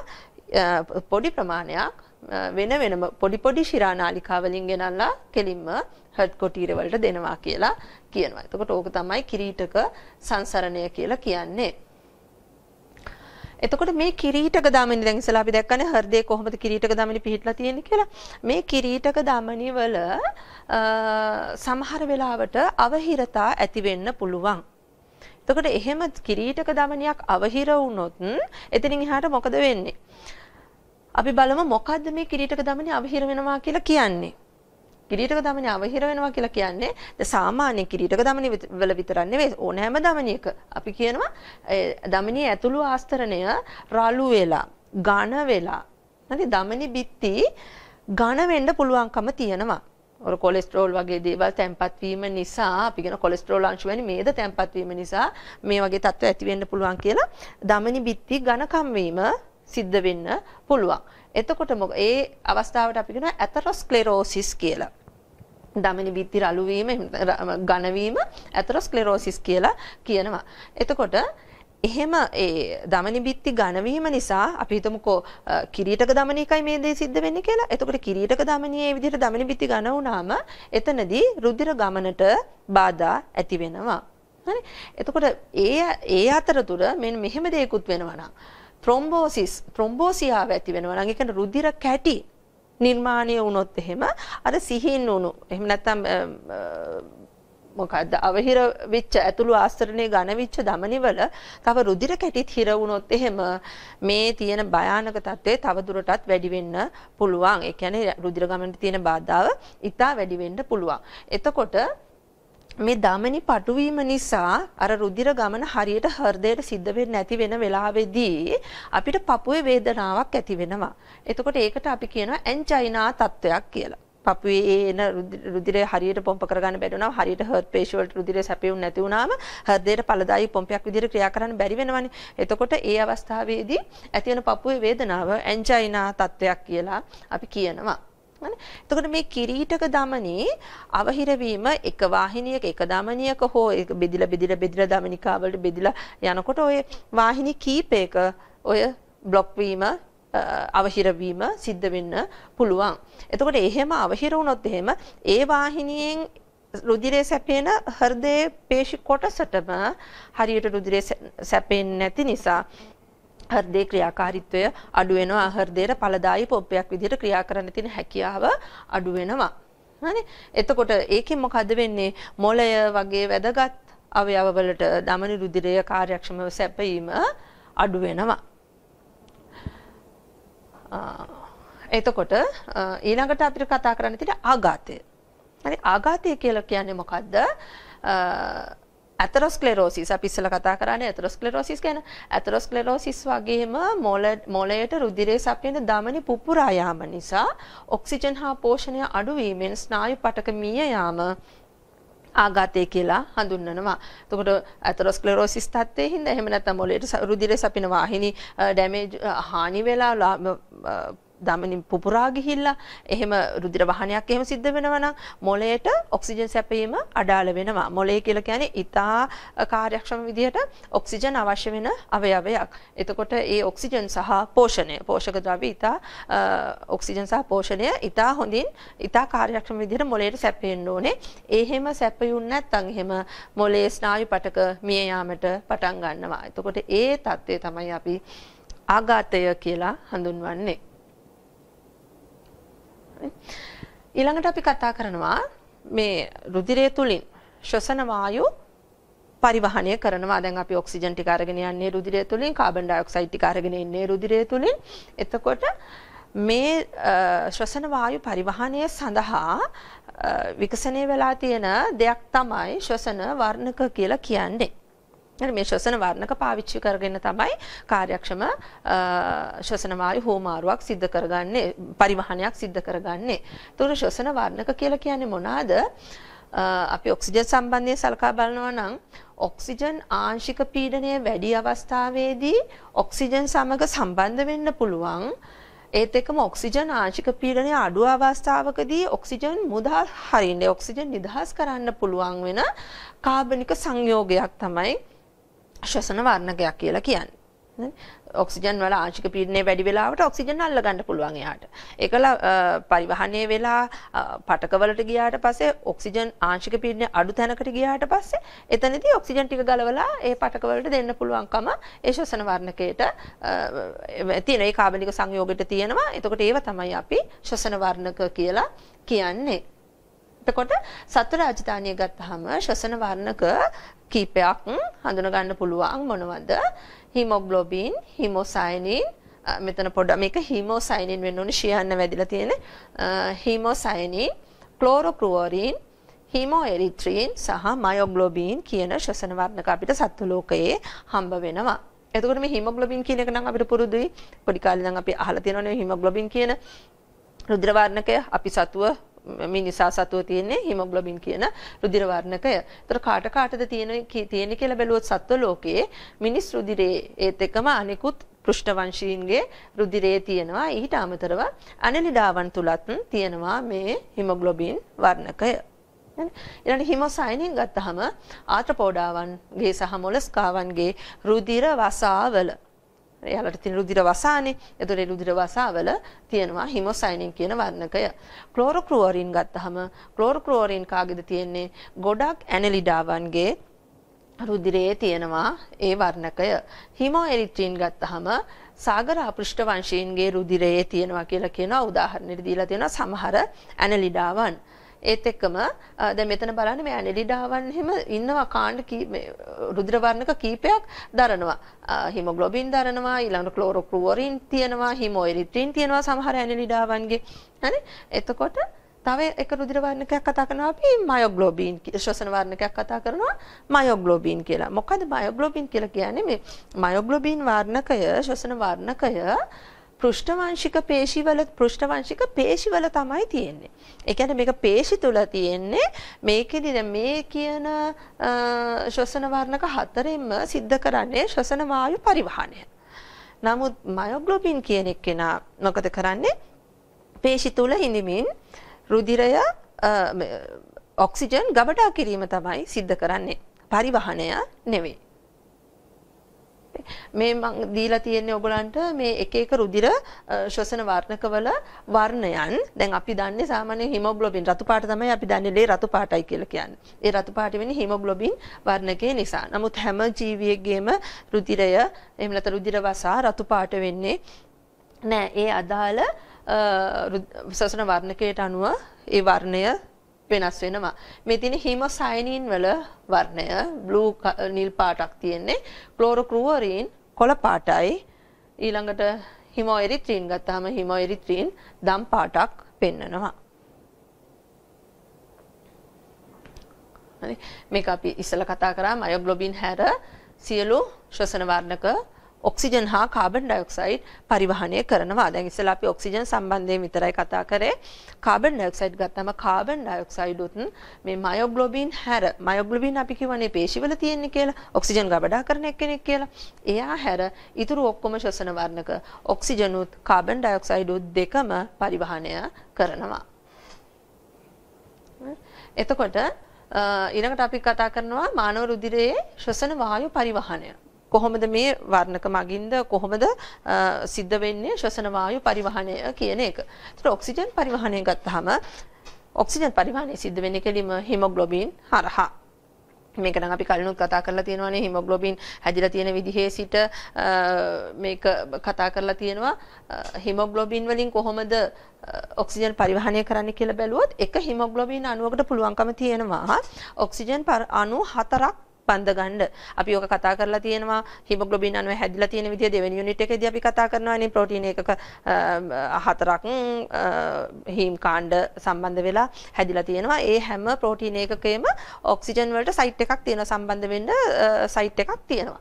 එතකොට ඒ ඊළඟට එන්සයිම වලදීත් අපි කතා කරනවා හිමොග්ලොබින් වලට කොහොමද ඔක්සිජන් සම්බන්ධ වෙන්නේ එක අණුවක් සම්බන්ධ වුණාට පස්සේ ඇලොස්ටරික යාමනයේදී අපි කතා කරනවානේ. එතකොට එක හිමොග්ලොබින් එකකට ඔක්සිජන් අණු හතරක් සම්බන්ධ වීමේ හැකියාව තියෙනවා. එතකොට මේ ඔක්සිජන් අණු හතර සම්බන්ධ වෙලා හැදෙන සංයෝගය අපි කියනවා ඔක්සි හිමොග්ලොබින් කියලා. මේ HB වලින් හිමොග්ලොබින් කියන එක දීලා තියෙන්නේ. ඔක්සිජන් අණු හතරක් සම්බන්ධ වෙලා ඔක්සි හිමොග්ලොබින් හදා ගන්නවා කියලා කියනවා. ඒකට ඔක්සි හිමොග්ලොබින් විදිහට තමයි රුධිරය හරහා ඔක්සිජන් අරගෙන යන්නේ හිමොග්ලොබින් මගින්.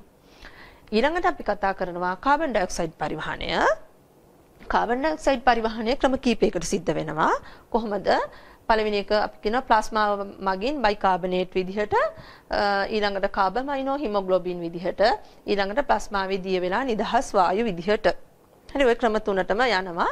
එතකොට වැඩිපුරම 70ක් පමණ ප්‍රමාණයක් පරිවහණය වෙන්නේ රුධිර ප්ලාස්මාව මගින් බයිකාබනේට් අයන විදිහට.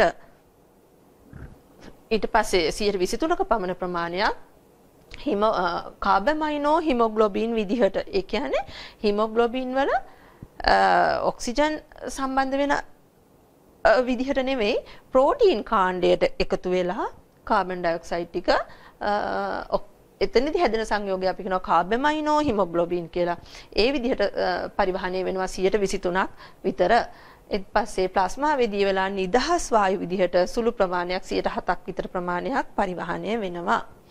එතකොට අපි මේක රූප සටහනකින් බැලුවොත් එහෙම මේ ඔයගලන්ට ඒක විස්තරයකුත් දීලා තියෙනවා ඔය රිසෝස් එක දැන් මේ හැම කරුණම මේකේ අඩංගුවෙන් අඩංගු කරන්න අමාරුයිනේ. එතකොට රිසෝස් බුක් එකේ ඔයගලන් සම්පත් පොතේ මේ පුංචි පුංචි කරුණු තව තියෙනවා. එතකොට ඒක පරිශීලනය කරනවනේ ඔයගොල්ලෝ. එතකොට ඔයගලන්ට අහුවේ දැන් ඒකෙදි කොහොමද මේ ඔක්සිජන් කාබන් ඩයොක්සයිඩ් පරිවහනය වෙන්නේ කියලා බැලුවොත් එහෙම ඉස්සලාම අපි ගත්තේ ප්ලාස්මාව මගින් බයිකාබනේට් විදිහටනේ. එතකොට මේ ප්ලාස්මාවට මේ බයිකාබනේට් විදිහට ලැබෙන්නේ කොහොමද?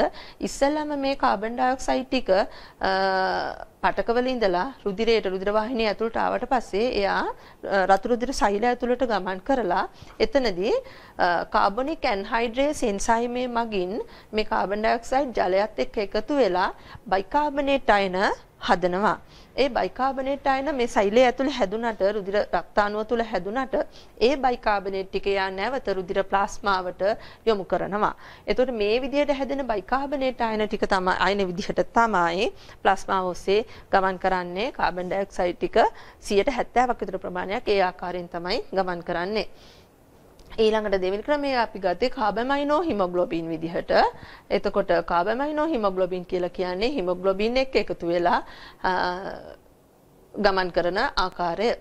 හරි. ඊට පස්සේ කෙලින්ම කාබන් ඩයොක්සයිඩ් ප්ලාස්මාවේ දිය වෙලා නිදහස් වායු විදිහටම ගමන් කරනවා 107ක් විතර. ඊට පස්සේ අපි එනවා ඊළඟ මාතෘකාවට මානව රුධිරයේ සංයුතිය හා ප්‍රධාන කෘත්‍ය. රුධිරය හැදිලා තියෙන්නේ කොයි කොයි කොයි කොටස් වලින්ද ඒ වගේම කොයි මොනවාද කරන වැඩ කියන එක. එතකොට රුධිරය කියලා කියන්නේ සෛල කොටසක් සහ ප්ලාස්මාව කියලා තරලමය කොටසක් කින් යුක්ත වෙන සම්බන්ධක පටකයක්. හරි. එතකොට රුධිරයේ සෛලීය කොටස ගත්තාම සෛලීය කොටස ප්‍රධාන වශයෙන් අපි කියන සංරචක තුනකින් යුක්තයි. මොනවද? රතු රුධිරාණු, සුදු රුධිරාණු සහ පට්ටිකා. හරි රතු රුධිරාණු වලට තමයි රක්තාණු කියලා කියන්නේ. සුදු රුධිරාණු වලට ශ්වේතාණු කියලාත් කියනවා අපි.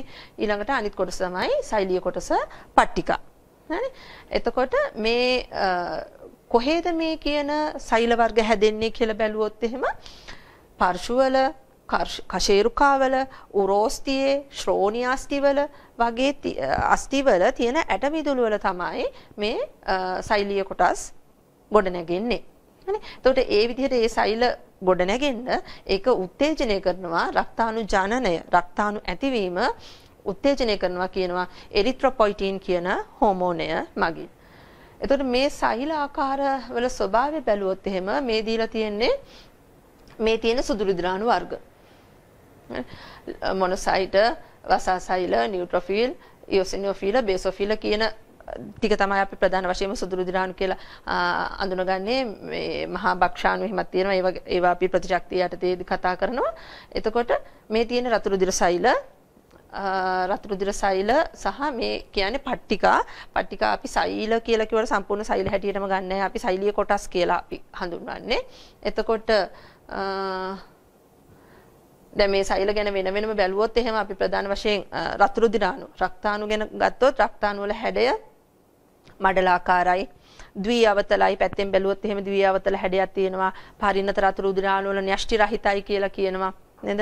න්‍යෂ්ටි රහිතයි එතකොට මේක හිමොග්ලොබින් වාර්ණකය නිසා තමයි රතු පාට වෙලා තියෙන්නේ. නේ හීම් කාණ්ඩය නිසා තමයි රතු පාට වෙලා තියෙන්නේ.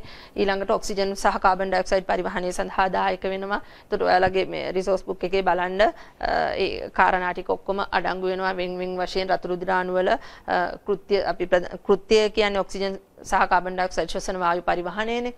එතකොට ආයු කාලය රතු රුධිරාණුවක දවස් 120ක් විතර වෙනවා. ඒ වගේ කරුණු ටිකක් තියෙනවා. ඒ ටික බලා ගන්න. සුදු රුධිරාණු ගත්තොත් එහෙම සුදු රුධිරාණු න්‍යෂ්ටි සහිත සෛල ආකාර පහක් තියෙනවා. කණිකාමයේ සුදු රුධිරාණු සහ නිර්කණිකාමයේ සුදු රුධිරාණු පිහිටලා තියෙනවා. පොදුවේ ගත්තොත් ආරක්ෂාව තමයි සුදු රුධිරාණු වල ප්‍රධාන කාර්යය වෙන්නේ. දේහයට ආරක්ෂාව සැපයීම විස බීජ භක්ෂණය කිරීම මගින් හෝ ප්‍රතිදේහ නිපදවීම මගින් දේහයට ආරක්ෂාව සැපීම සුදු රුධිරාණු වලින් කෙරෙනවා. එතකොට පට්ටිකා වලින් මොකද වෙන්නේ? පට්ටිකා වලින් පට්ටිකා වල ප්‍රධාන කෘත්‍යය තමයි රුධිරය කැටි ගැසීම සඳහා දායක වීම. රුධිර කැටි ගැසීම ඉස්සරහට කතා කරනවා. රුධිර කැටි ගැසීමේදී පට්ටිකා වලින් ලොකු කාර්යයක් ඉෂ්ට වෙනවා. ඊළඟ රුධිර ප්ලාස්මාව ගත්තාම අපි කියවනේ රුධිරය හැදිලා තියෙන්නේ තරලමය කොටසකින් සහ සෛලීය කොටසකින්. ඒ සෛලීය කොටස තමයි අපි දැන් ඉස්සෙල්ලා කතා කරේ. තරලමය කොටස ගත්තාම රුධිර ප්ලාස්මාව කියලා කියනවා ඒ තරලමය කොටස. එතකොට ප්ලාස්මාවේ අඩංගු වෙන්නේ මොනවාද? අඩංගු වෙන දේවල් ටික දීලා තියෙනවා. ද්‍රව්‍ය ආකාරයෙන් පවතින අකාබනික අයන, ප්ලාස්මා ප්‍රෝටීන, පෝෂක, පරිවෘත්ති අපද්‍රව්‍ය, ශ්වසන වායු, හෝමෝන වගේ දේවල් රුධිර ප්ලාස්මාවේ තියෙනවා. එතකොට මේ ද්‍රව්‍ය ආකාරයෙන් පවතින අකාබනික අයන ගත්තහම ඒ වගේ මෙන්න මේ මේ වගේ වැඩ සිද්ධ වෙනවා කියලා කියනවා ස්වාරක්ෂණ කාර්ය සහ රුධිරයේ ආශ්‍රිත තුල්්‍යතාව පවත්වාගෙන යාම මේ ද්‍රව්‍යාකාරයෙන් පවතින අකාබනික අයන වලින් සිද්ධ වෙනවා. ඒත් එක්කම ප්ලාස්මා ප්‍රෝටීන තියෙනවානේ. ප්ලාස්මා ප්‍රෝටීන જાති කීපයක් තියෙනවා. ඇල්බියුමින්, ෆයිබ්‍රිනෝජන්, ප්‍රතිදේහ වගේ ප්‍රෝටීන වර්ග. එතකොට ඇල්බියුමින් ගත්තොත් ඇල්බියුමින් වලින් කරන්නේ සාරක්ෂණ ක්‍රියාවලියක්. අපි කිව්වා අකාබනික අයන වලුත් සාරක්ෂණය සිද්ධ වෙනවා. ඇල්බියුමින් වලිනුත් ප්‍රෝටීන වලිනුත් ස්වාරක්ෂණයක් සිද්ධ වෙනවා. ෆයිබ්‍රිනෝජන් ගත්තාම ෆයිබ්‍රිනෝජන් වලින් රුධිර කැට ගැසීමට දායක වෙනවා කියලා කියනවා. ප්‍රතිදේහ වලින් සිරුරට ආරක්ෂාව සපයන්න උදව් වෙනවා කියලා කියනවා. එතකොට පෝෂක පරිවෘත්ති අපද්‍රව්‍ය ශ්වසන වායු සහ හෝමෝන රුධිර ප්ලාස්මාවේ අනිත් සංඝටක විදිහට අඩංගු වෙනවා. එතකොට මේ දීලා තියෙන්නේ රුධිරය අපි කේන්ද්‍රාපසරණයට ලක් කරොත් එහෙම අපිට සෛලීය කොටස සහ තරලමය කොටස වෙන් කරගන්න පුළුවන්කම තියෙනවා. එහෙම වෙන් කරගත්තාම අපිට පේනවා අර සෛලීය සෛලීය කොටස තමයි මේ රතු පාටට පෙන්වන්නේ. මේ තරලමය කොටස ලා කහ පාට පිදුරු පාට වගේ තරලයක් විදිහට තමයි පෙන්වන්නේ. එතන මේකට අපි කියනවා ප්ලාස්මාව. රුධිර ප්ලාස්මාව මේක සෛලීය කොටස. හරි. එතකොට මේ මේ ප්ලේට්ලට්ස් පට්ටිකා ටික ඒව එහෙම මේ මැද අඩංගු වෙනවා. එතකොට මට මේ මේක කියන්න ඕනිකම තියෙන්නේ මේ ප්ලාස්මාව කියන කොටස ගැන. මේ ප්ලාස්මාවේ ඔයාලගේ එක තැනක මේ රිසෝස් එකේ එක තැනකදී සඳහන් වෙනවා. ප්ලාස්මාව සහ මස්තු කියලා අවස්ථා දෙකක්. ප්ලාස්මාව කියලා කියන්නේ රුධිර කැටිකාරක සාධක අඩංගු වෙලා තියෙන අවස්ථාවේදී මේ තරලය ප්ලාස්මාව කියලා කියනවා. ඒ ප්ලාස්මාවෙන් රුධිර කැටිකාරක සාධක ටික අයින් කරගත්තට පස්සේ ඒ කියන්නේ දැන් මෙතන මේ රුධිරය කැටි ගහලා තියෙන්නේ. මේ කැටි ගහෙන්න නම් මේ ප්ලාස්මාවේ තියෙන ඒ කැටිකාරක සාධක ටික ඒකට උදව් වෙලා රුධිර කැටිය හදලා තියෙන්නේ. ඒ වෙලාවේ කැටිකාරක සාධක ටික ඉවත් වුණාට පස්සේ ඉතුරු වෙන මේ තරලය අපි කියනවා මස්තු කියලා. හරි? එක තැනක සඳහන් වෙනවා. එක ගැන අවධානය යොමු කරන්න. ඊට පස්සේ රුධිරය ගැන තව කරුණු කීපයක්. රුධිරයේ pH අගය සාමාන්‍ය pH අගය අපි කියන 7.4ක් පමණ වෙනවා කියලා. ඒත් එක්කම ප්‍රෝටීන ගැන බැලුවොත් රුධිරයේ ප්ලාස්මාවේ ප්‍රෝටීන අඩංගු වෙනවා අන්තරාල තරලයේ ප්‍රෝටීන වර්ග අඩංගු වෙනවා. ඔය අන්තරාලයේ තරලයේ හැදෙන්නේ ප්ලාස්මාවෙන්මනේ රුධිරේ වාහිනිය ඔස්සේ ගමන් කරනකොට පීඩනයක් ඇතුව ගමන් කරනකොට වාහිනිය වලින් පෙරිලා ගිහිල්ලානේ ඔය අන්තරාල තරලයේ ටික හැදෙන්නේ. එහෙම නැත්නම් පටක තරලය. එතකොට ප්ලාස්මාවේ තියෙන ප්‍රෝටීන සාන්ද්‍රණය අන්තරාල තරලයට වඩා වැඩි කියලා කියනවා. එතකොට මොකද එහෙම වෙන්නේ? තරලය පෙරිලා ගියාට අන්තරාල තරලයේ විදිහට ප්‍රෝටීන පෙරිලා යන්නේ නැහැ. රුධිර වාහිනී බිත්තිය ඔස්සේ ප්‍රෝටීන ටික යන්නේ නැති නිසා ප්‍රෝටීන විශාල නිසා ඒවා වැඩිපුර ඉතුරු වෙනවා රුධිරයේ ප්ලාස්මාවේ. ඒතර ප්ලාස්මාවේ තියෙන ප්‍රෝටීන් සාන්ද්‍රණය වැඩි අන්තරාල තරලයට වඩා. හරි. ඊට පස්සේ මේක ඉස්සලා අපි කතා කරපු කාරණාව ප්ලාස්මාවෙන් කැටිකාරක සාධක ඉවත් කරාම ඒක මස්තු විදිහට හඳුන්වනවා. ඊට පස්සේ රුධිරයේ ප්‍රධාන කෘත්‍ය ටික දීලා තියෙනවා ඕගොල්ලන්ට. දැන් අපි කෙටි කරලා කිව්වොත් රුධිරයේ ප්‍රධාන කෘත්‍ය තියෙන ද්‍රව්‍ය පරිවහනය කිරීම සහ ආරක්ෂාව සැපයීම හරි ඒ දෙක තමයි ලොකුවටම අපි කතා කරන කාරණා දෙක. නමුත් ඕගලන්ට මේ සැරේ දීලා තියෙන මේ සිලබස් එකේ මෙන්න මේ විදිහට කරුණු කීපයක් විදිහට ඒක විස්තරණය කරලා දීලා තියෙනවා. එතකොට ඔයාලට ඒ විදිහට පාඩම් කරන්නත් සිද්ධ වෙයි. මොනවද රුධිරේ ප්‍රධාන කෘත්‍ය විදිහට දීලා තියෙන්නේ? අවයව කරා ඔක්සිජන් පරිවහනය හා පටක එහෙම නැත්නම් අවයව වලින් කාබන් ඩයොක්සයිඩ් ඉවත් කිරීම. හරි ඊළඟට බහිස්රාවී අවයව වෙත ද්‍රව්‍ය බහිස්රාවී ද්‍රව්‍ය පරිවහනය හරි? එතකොට ඒ ඔය හැම එකකදීම සිද්ධ වෙන්නේ පරිවහනය තමයි නමුත් කොටස් කරලා දීලා තියෙනවා. හරි? එතකොට මෙතන බහිස්රාවී අවයව වෙතට ද්‍රව්‍ය බහිස්රාවී ද්‍රව්‍ය පරිවහනය මෙන්න මේ වචන වැදගත්. ද්‍රව්‍ය බහිස්රාවී ද්‍රව්‍ය. හරි? දිය කරගෙන ගෙනියන්න පුළුවන් ටික තමයි මේ ගෙනියන්න ද්‍රව්‍ය බහිස්රාවී ද්‍රව්‍ය පරිවහනය ඊට පස්සේ පෝෂක පරිවහනය නිපදවන ස්ථානවන ග්‍රන්ථිවල සිට ඉලක්ක අවයව කරා හෝමෝන පරිවහනය හදන තැන ඉඳන් ඉලක්ක අවයව වෙත අපි දන්නවන්නේ නිර්නාල ග්‍රන්ථි වලින් හෝමෝන නිපදවන්නේ කියලා. එතකොට ඒවා නාල නැහැ කෙලිම රුධිරයට නිදහස් කරන්නේ. රුධිරය ඔස්සේ තමයි අදාළ තැනට ගිහිල්ලා එයාට අදාළ වැඩේ එයා කරන්නේ. එතකොට නිපදවන ස්ථානවල සිට වන ග්‍රන්ථි වල සිට ඉලක්ක අවයව කරා හෝමෝන පරිවහනය සිද්ධ වෙනවා රුධිරය ඔස්සේ. දේහයේ ආගන්තුක ආක්‍රමණ වලට එහි ආරක්ෂණ ක්‍රියාව අපි කියවන්නේ සුදු රුධිරාණු වලින් ප්‍රධාන වශයෙන්ම ආරක්ෂණ ක්‍රියාව සිද්ධ වෙන්නේ. ඊළඟට ආශ්‍රිත විධානයට උදව් වීම. ඒතර මේ ආශ්‍රිත විධානය ගැන ඉස්සරහට තව පාඩම් වලදී කතා කරනවා විස්තර ඇතුව. එතකොට රුධිරයේ ප්‍රධාන කෘත්‍ය ටික දීලා තියෙනවා ඔයගලන්ට කාරණා හයක් විදිහට කෘත්‍ය හයක් විදිහට. හරි. ඊළඟ මාතෘකාවට එනවා අපි රුධිර කැටි ගැසීම. රුධිර කැටි ගැසීම කියලා කියන්නේ පටකයක් හානි වෙච්ච වෙලාවට රුධිරය දෙහෙන් එළියට යනවා නම් ඒ වෙලාවට එළියට යන්න නොදී රුධිරය කැටි ගහ ගහලා ආරක්ෂාව සැපීම තමයි මේ රුධිර කැටි ගැසීම කියලා කියන්නේ.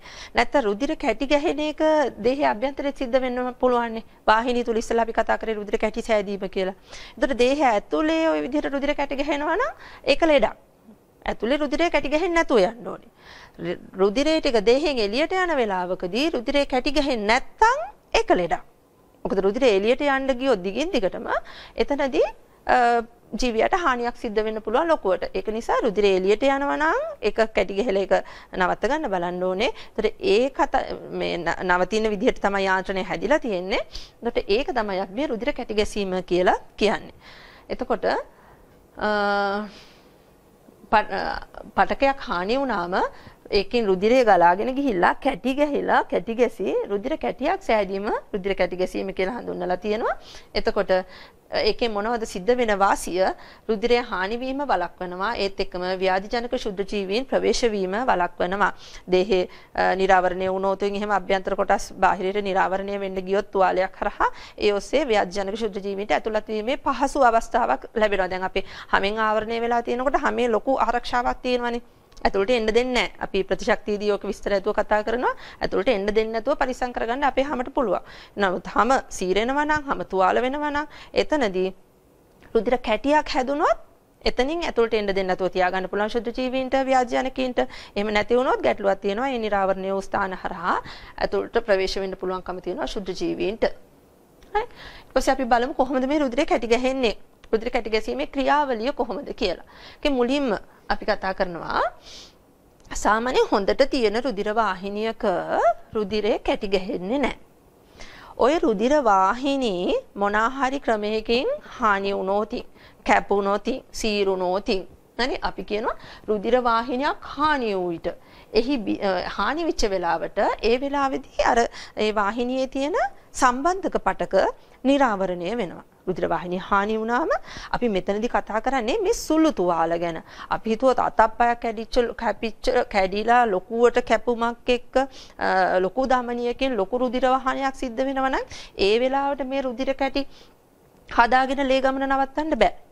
අපි මේ කතා කරන්නේ සුළු තුවාලයක් වගේ සිද්ධ වෙන වෙලාවකදී ඔන්න ඒ රුධිර වාහිනිය බිඳිලා එතන සම්බන්ධක පටක නිරාවරණය වෙනවා. එතකොට ඒ විදිහට අර සිනිදු බව අර ස්මූත් විදිහට තියෙනවා නම් රුධිර කැටි ගහන්නේ නැහැ. රුධිර වාහිනිය දැන් කැපිලා ඩැමේජ් වුණාට පස්සේ මොකද වෙන්නේ? සම්බන්ධක පටක නිරාවරණය වෙලා ඒ සම්බන්ධක පටකවල තියෙන කොලජන් තන්තු වලට පට්ටිකා ටික ඇවිල්ලා ඇලෙනවා.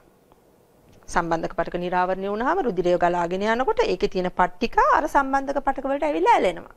ඇලිලා ඒ පට්ටිකා එකට එක තවදුරටත් අලව ගන්න පුළුවන් විදිහේ ද්‍රව්‍යයක් මේ පට්ටිකාවලින් නිදහස් වෙනවා.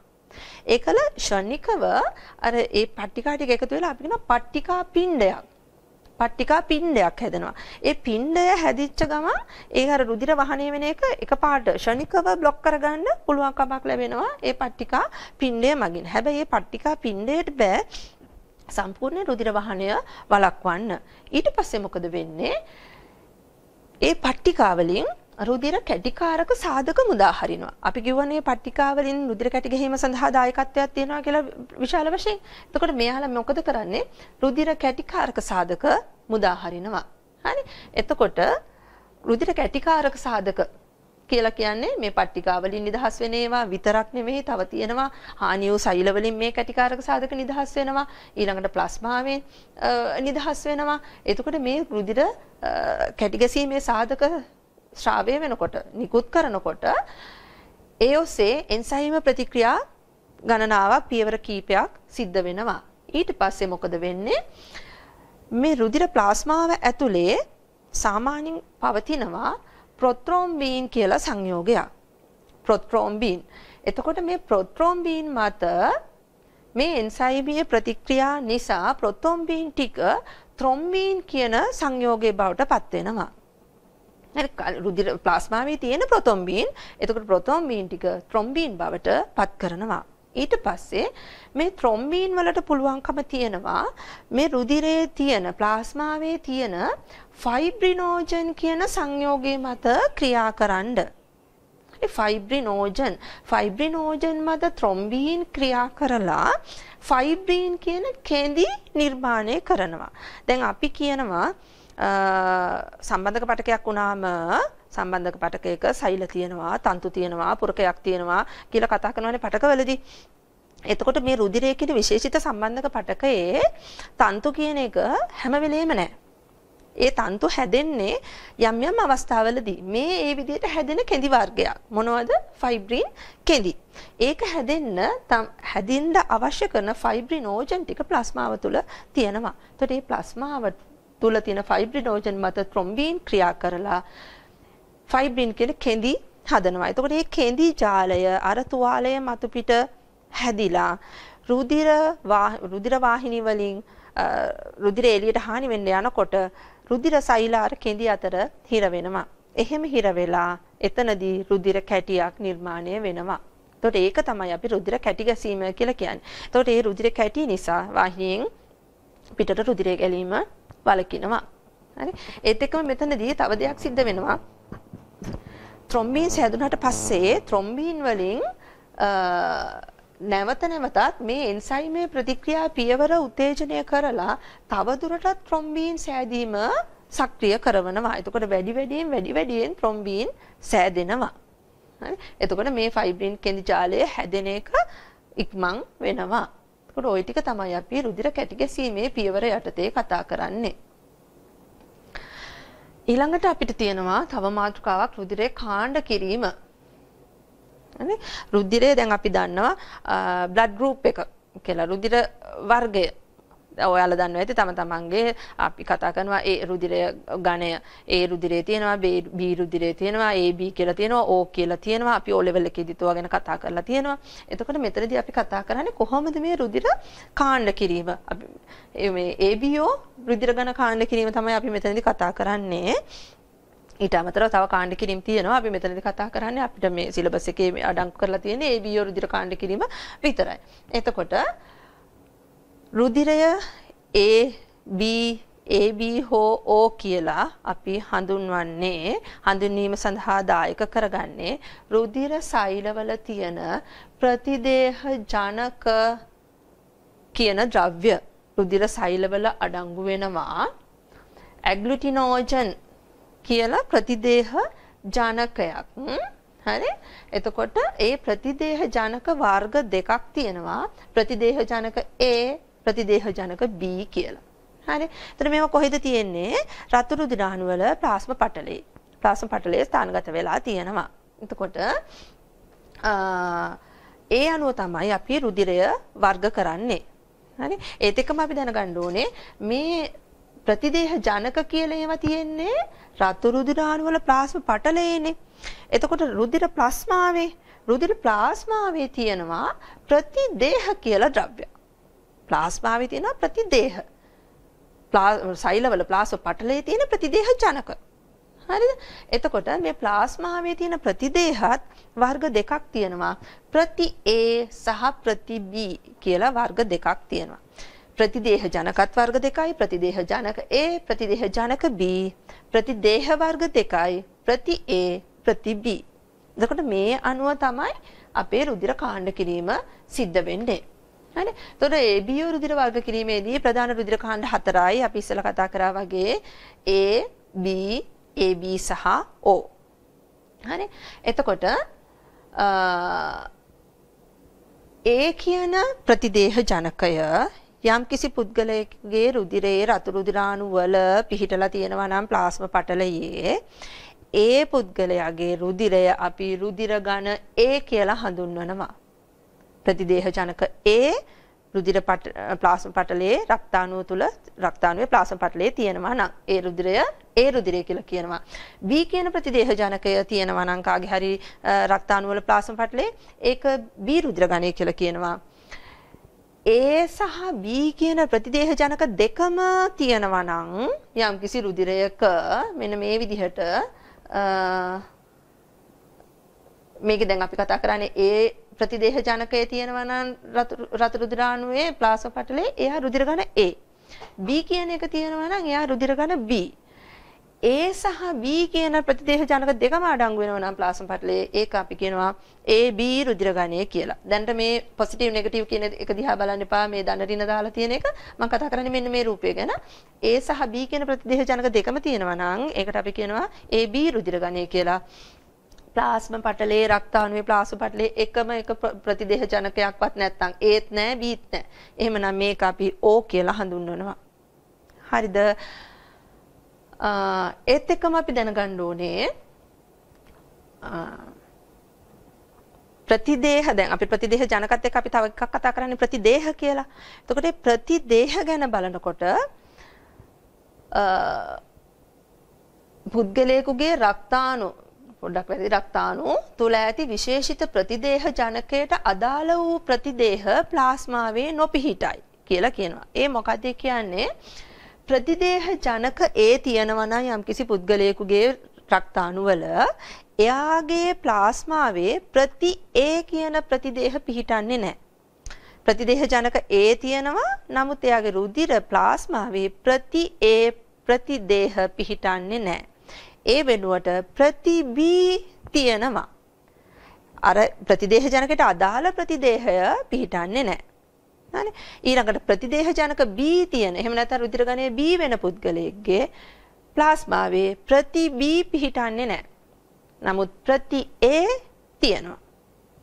ඒ වගේම ප්‍රතිදේහ ජනක A B දෙකම තියෙන එහෙම නැත්නම් A B රුධිර ගණයේ සහිත පුද්ගලයෙක්ගේ ප්ලාස්මාවේ ප්‍රති A ප්‍රතිබීවත් නැහැ. මොකද ප්‍රතිදේහ ජනක දෙකම තියෙනවානේ සෛල පටලේ. ඒක නිසා එයාගේ ප්ලාස්මාවේ ප්‍රති ඒවත් ප්‍රතිබීවත් පිහිටන්නේ නැහැ. හැබැයි ඕරුදිර ගණය ගත්තාම ඕරුදිර ගණයේ තියෙන කට්ටියගේ ප්‍රතිදේහ ජනක මොකුත් නැහැනේ. එතකොට ප්ලාස්මාවේ ප්‍රති A ප්‍රති B කියන ප්‍රතිදේහ ಜಾති දෙකම තියෙනවා. එතකොට ওই විදිහටයි රුධිරයේ කාණ්ඩ කිරීම වලදී අපි ප්‍රතිදේහ ජනක සහ ප්‍රතිදේහ සම්බන්ධයෙන් කතා කරන්නේ. හරිද? ඊට පස්සේ මේ පොසිටිව් නෙගටිව් කියන කතන්දරේ මොකද්ද කියලා බැලුවොත් එහෙම ඒ දැන් අපි රුධිර ගණයේ A කියලා කිව්වොත් A පොසිටිව් A නෙගටිව් කියලා දෙකක් තියෙනවා B කියලා කිව්වොත් B පොසිටිව් B නෙගටිව් කියලා දෙකක් තියෙනවා දැන් ඔයගොල්ලෝ දැකලා ඇතිනේ මොනවා හරි රුධිර පාර විලේනයකට එහෙම නැත්නම් පටක බද්දයකට අපි හිතමු වකු අපිට දානවා අර ටීවී එකේ යටින් යන්නේ O පොසිටිව් වර්ගයේ වකුගඩුවක් උවමනායි කියලා. O නෙගටිව් වර්ගයේ වකුගඩුවක් අවශ්‍යයි. එහෙම කියලා. ඒ රුධිර ගණය පොසිටිව් නෙගටිව් කියලා වෙන් කරන්නේ කොහොමද? ඒක වෙන් වෙන්නේ මේ රීසස් සාධකයට අනුව. රීසස් පද්ධතියක් කියලා දෙයක් තියෙනවා. ඒ රීසස් කියලා කියන්නේ ප්‍රතිදේහ ජනකයක්. ඒ ප්‍රතිදේහ ඒ රීසස් ප්‍රතිදේහ ජනකය එයත් ඉන්නේ මේ ප්ලාස්ම පටලයේ. හරිද? එතකොට රතු රුධිරාණු වල අපි හිතමු ඒ රුධිර ගණය සැලකුවොත් එහෙම රතු ඒ රුධිර සෛලවල ඒ කියන ප්‍රතිදේහ ජනකයේ තියෙනවා. හැබැයි අර රීසස් ප්‍රතිදේහ ජනකය මෙයාගේ ප්ලාස්ම පටලේ නැහැ. එහෙම නැත්නම් මෙයා ඒ නෙගටිව් කියලා හඳුන්වනවා. හරි? ඒ නෙගටිව් කට්ටිය. ඊට පස්සේ අපි බැලුවොත් ඒ රුධිර ගණය, ඒ කියන්නේ ප්‍රතිදේහ ජනක ඒ තියෙනවා. ඒත් එක්කම රීසස් සාධකයක් මෙයා ගාව තියෙනවා. හරි රීසස් ප්‍රතිදේහ ජනකයක් මේක අඩංගු වෙනවා නම් ඒ රුධිර ගණය A පොසිටිව් කියලා අපි හඳුන්වනවා. ඒ වගේම තමයි B ගත්තොත් B එකෙත් රීසස් සාධකයේ තියෙනවා නම් B පොසිටිව් කියනවා. රීසස් සාධකේ නැත්තම් B නෙගටිව් කියලා කියනවා. AB වලටත් එහෙමයි O වලටත් එහෙමයි. හරි එතකොට මේ රීසස් සාධකයේ බලපෑම මොකක්ද කියලා බැලුවොත් එහෙම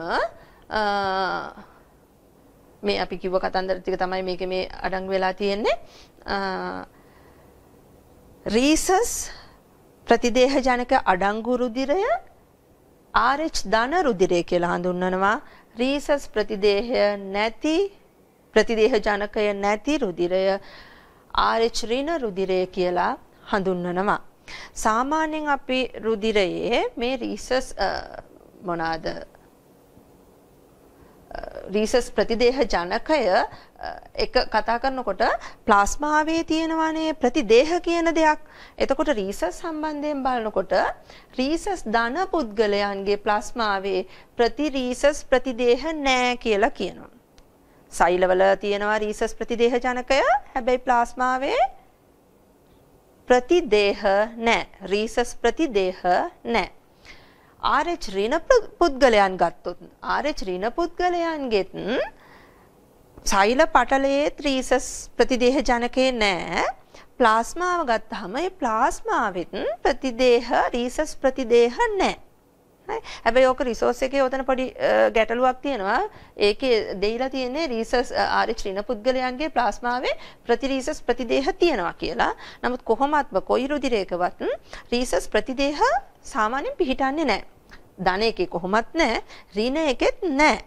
හැබැයි අපි බැරි වෙලාවත් රීසස් ධන රුධිරයක් රීසස් ඍණ රුධිරයකට මිශ්‍ර වුණොත් අපිට රුධිර පාරවිලයනයක් වෙලාවක ධන ධන රුධිරයක් ඍණ රුධිරයකට දුන්නා කියලා. එහෙම වෙලාවට අර රීසස් ඍණ රුධිරයේ රීසස් ධන වලට ඒ කියන්නේ ප්‍රතිදේහ ජනකයට එරෙහිව ප්ලාස්මාවේ ප්‍රතිදේහය හදා ගන්නවා රීසස් ප්‍රතිදේහ එයා හදා ගන්නවා ගොඩ නගා ගන්නවා. ඒ නිසා කලින් තියෙනව නෙවෙයි එයා අලුතෙන් ගොඩ නගා ගන්නවා. ගොඩ නගාගෙන අර RH ධන රුධිරයට ප්‍රතිචාර දක්වනවා. RH ධන රුධිරය ඉවත් කරන්න විනාශ කරන්න අර ප්‍රතිදේහ ක්‍රියාත්මක වෙනවා. හරි ඔය ඔය මේ රිසර්ච් සාධකයේ සම්බන්ධයෙන් මේ ඔයාලගේ රිසෝස් එකේ දීලා තියෙන එක හොඳම උදාහරණය තමයි රීසස් රින මවකට RH ඍණ මවකට RH ධන දරුවෙක් බිහි වෙන අවස්ථාව. හරි. එතකොට මව රීසස් ඍණ RH ඍණ එතකොට එයාගේ රුධිරයේ ප්‍රතිදේහ නැහැ. සෛලවලත් ප්‍රතිදේහ ජනකත් නැහැ. මොකුත් නැහැ. හැබැයි බිහි උපදින්න යන දරුවා දරුවාගේ රුධිරයේ එයා රීසස් ධනෙක් කෙනෙක්. හරි. එතකොට දරුව දැන් දරුවා ගැබ තුල තියෙනකොට ඉන්නකොට කොහොමත්ම මව සහ දරුවා අතර රුධිර හෝමාරුවක් සිද්ධ වෙන්නේ නැහනේ. එතකොට දරුවා නිරුපද්‍රිතව හැදෙනවා ඊට පස්සේ යාව දරුවා බිහි කරනවා බිහි කරන අවස්ථාවේදී දරුවා බිහි වෙනකොට අපි දන්නවා කලල බන්දේ එහෙම කැඩිලා එනකොට එතනදී රුධිර මිශ්‍ර වීමක් සිද්ධ වෙන්න පුළුවන්.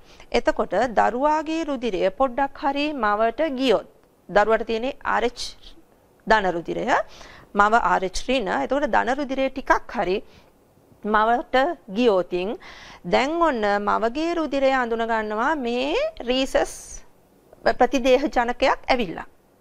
එතකොට මේ ප්‍රතිදේහ ජනකයට විරුද්ධව මවගේ රුධිරයේ ප්‍රති රීසස් ප්‍රතිදේහ ගොඩ නැගෙනවා. කලින් තිබ්බේ නෑ. දැන් එක්කෙනෙක් මේ ඇවිල්ලා ඉන්නවා ප්‍රතිදේහ ජනකයා. එයාට විරුද්ධව ක්‍රියා කරන්න මවගේ රුධිරයේ ප්ලාස්මාවේ ප්‍රති රීසස් ප්‍රතිදේහ ගොඩ නැගෙනවා.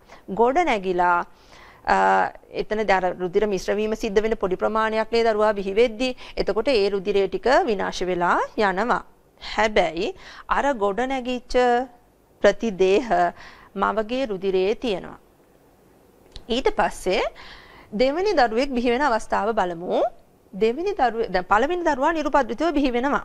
ඊට පස්සේ දෙවෙනි දරුවෙක් දෙවෙනි දරුවාත් නැවත RH දාන කියලා හිතමු. RH දාන දරුවෙක් නැවත පිළිසිඳ ගත්තා. ඒ අවස්ථාවේදී මොකද වෙන්නේ?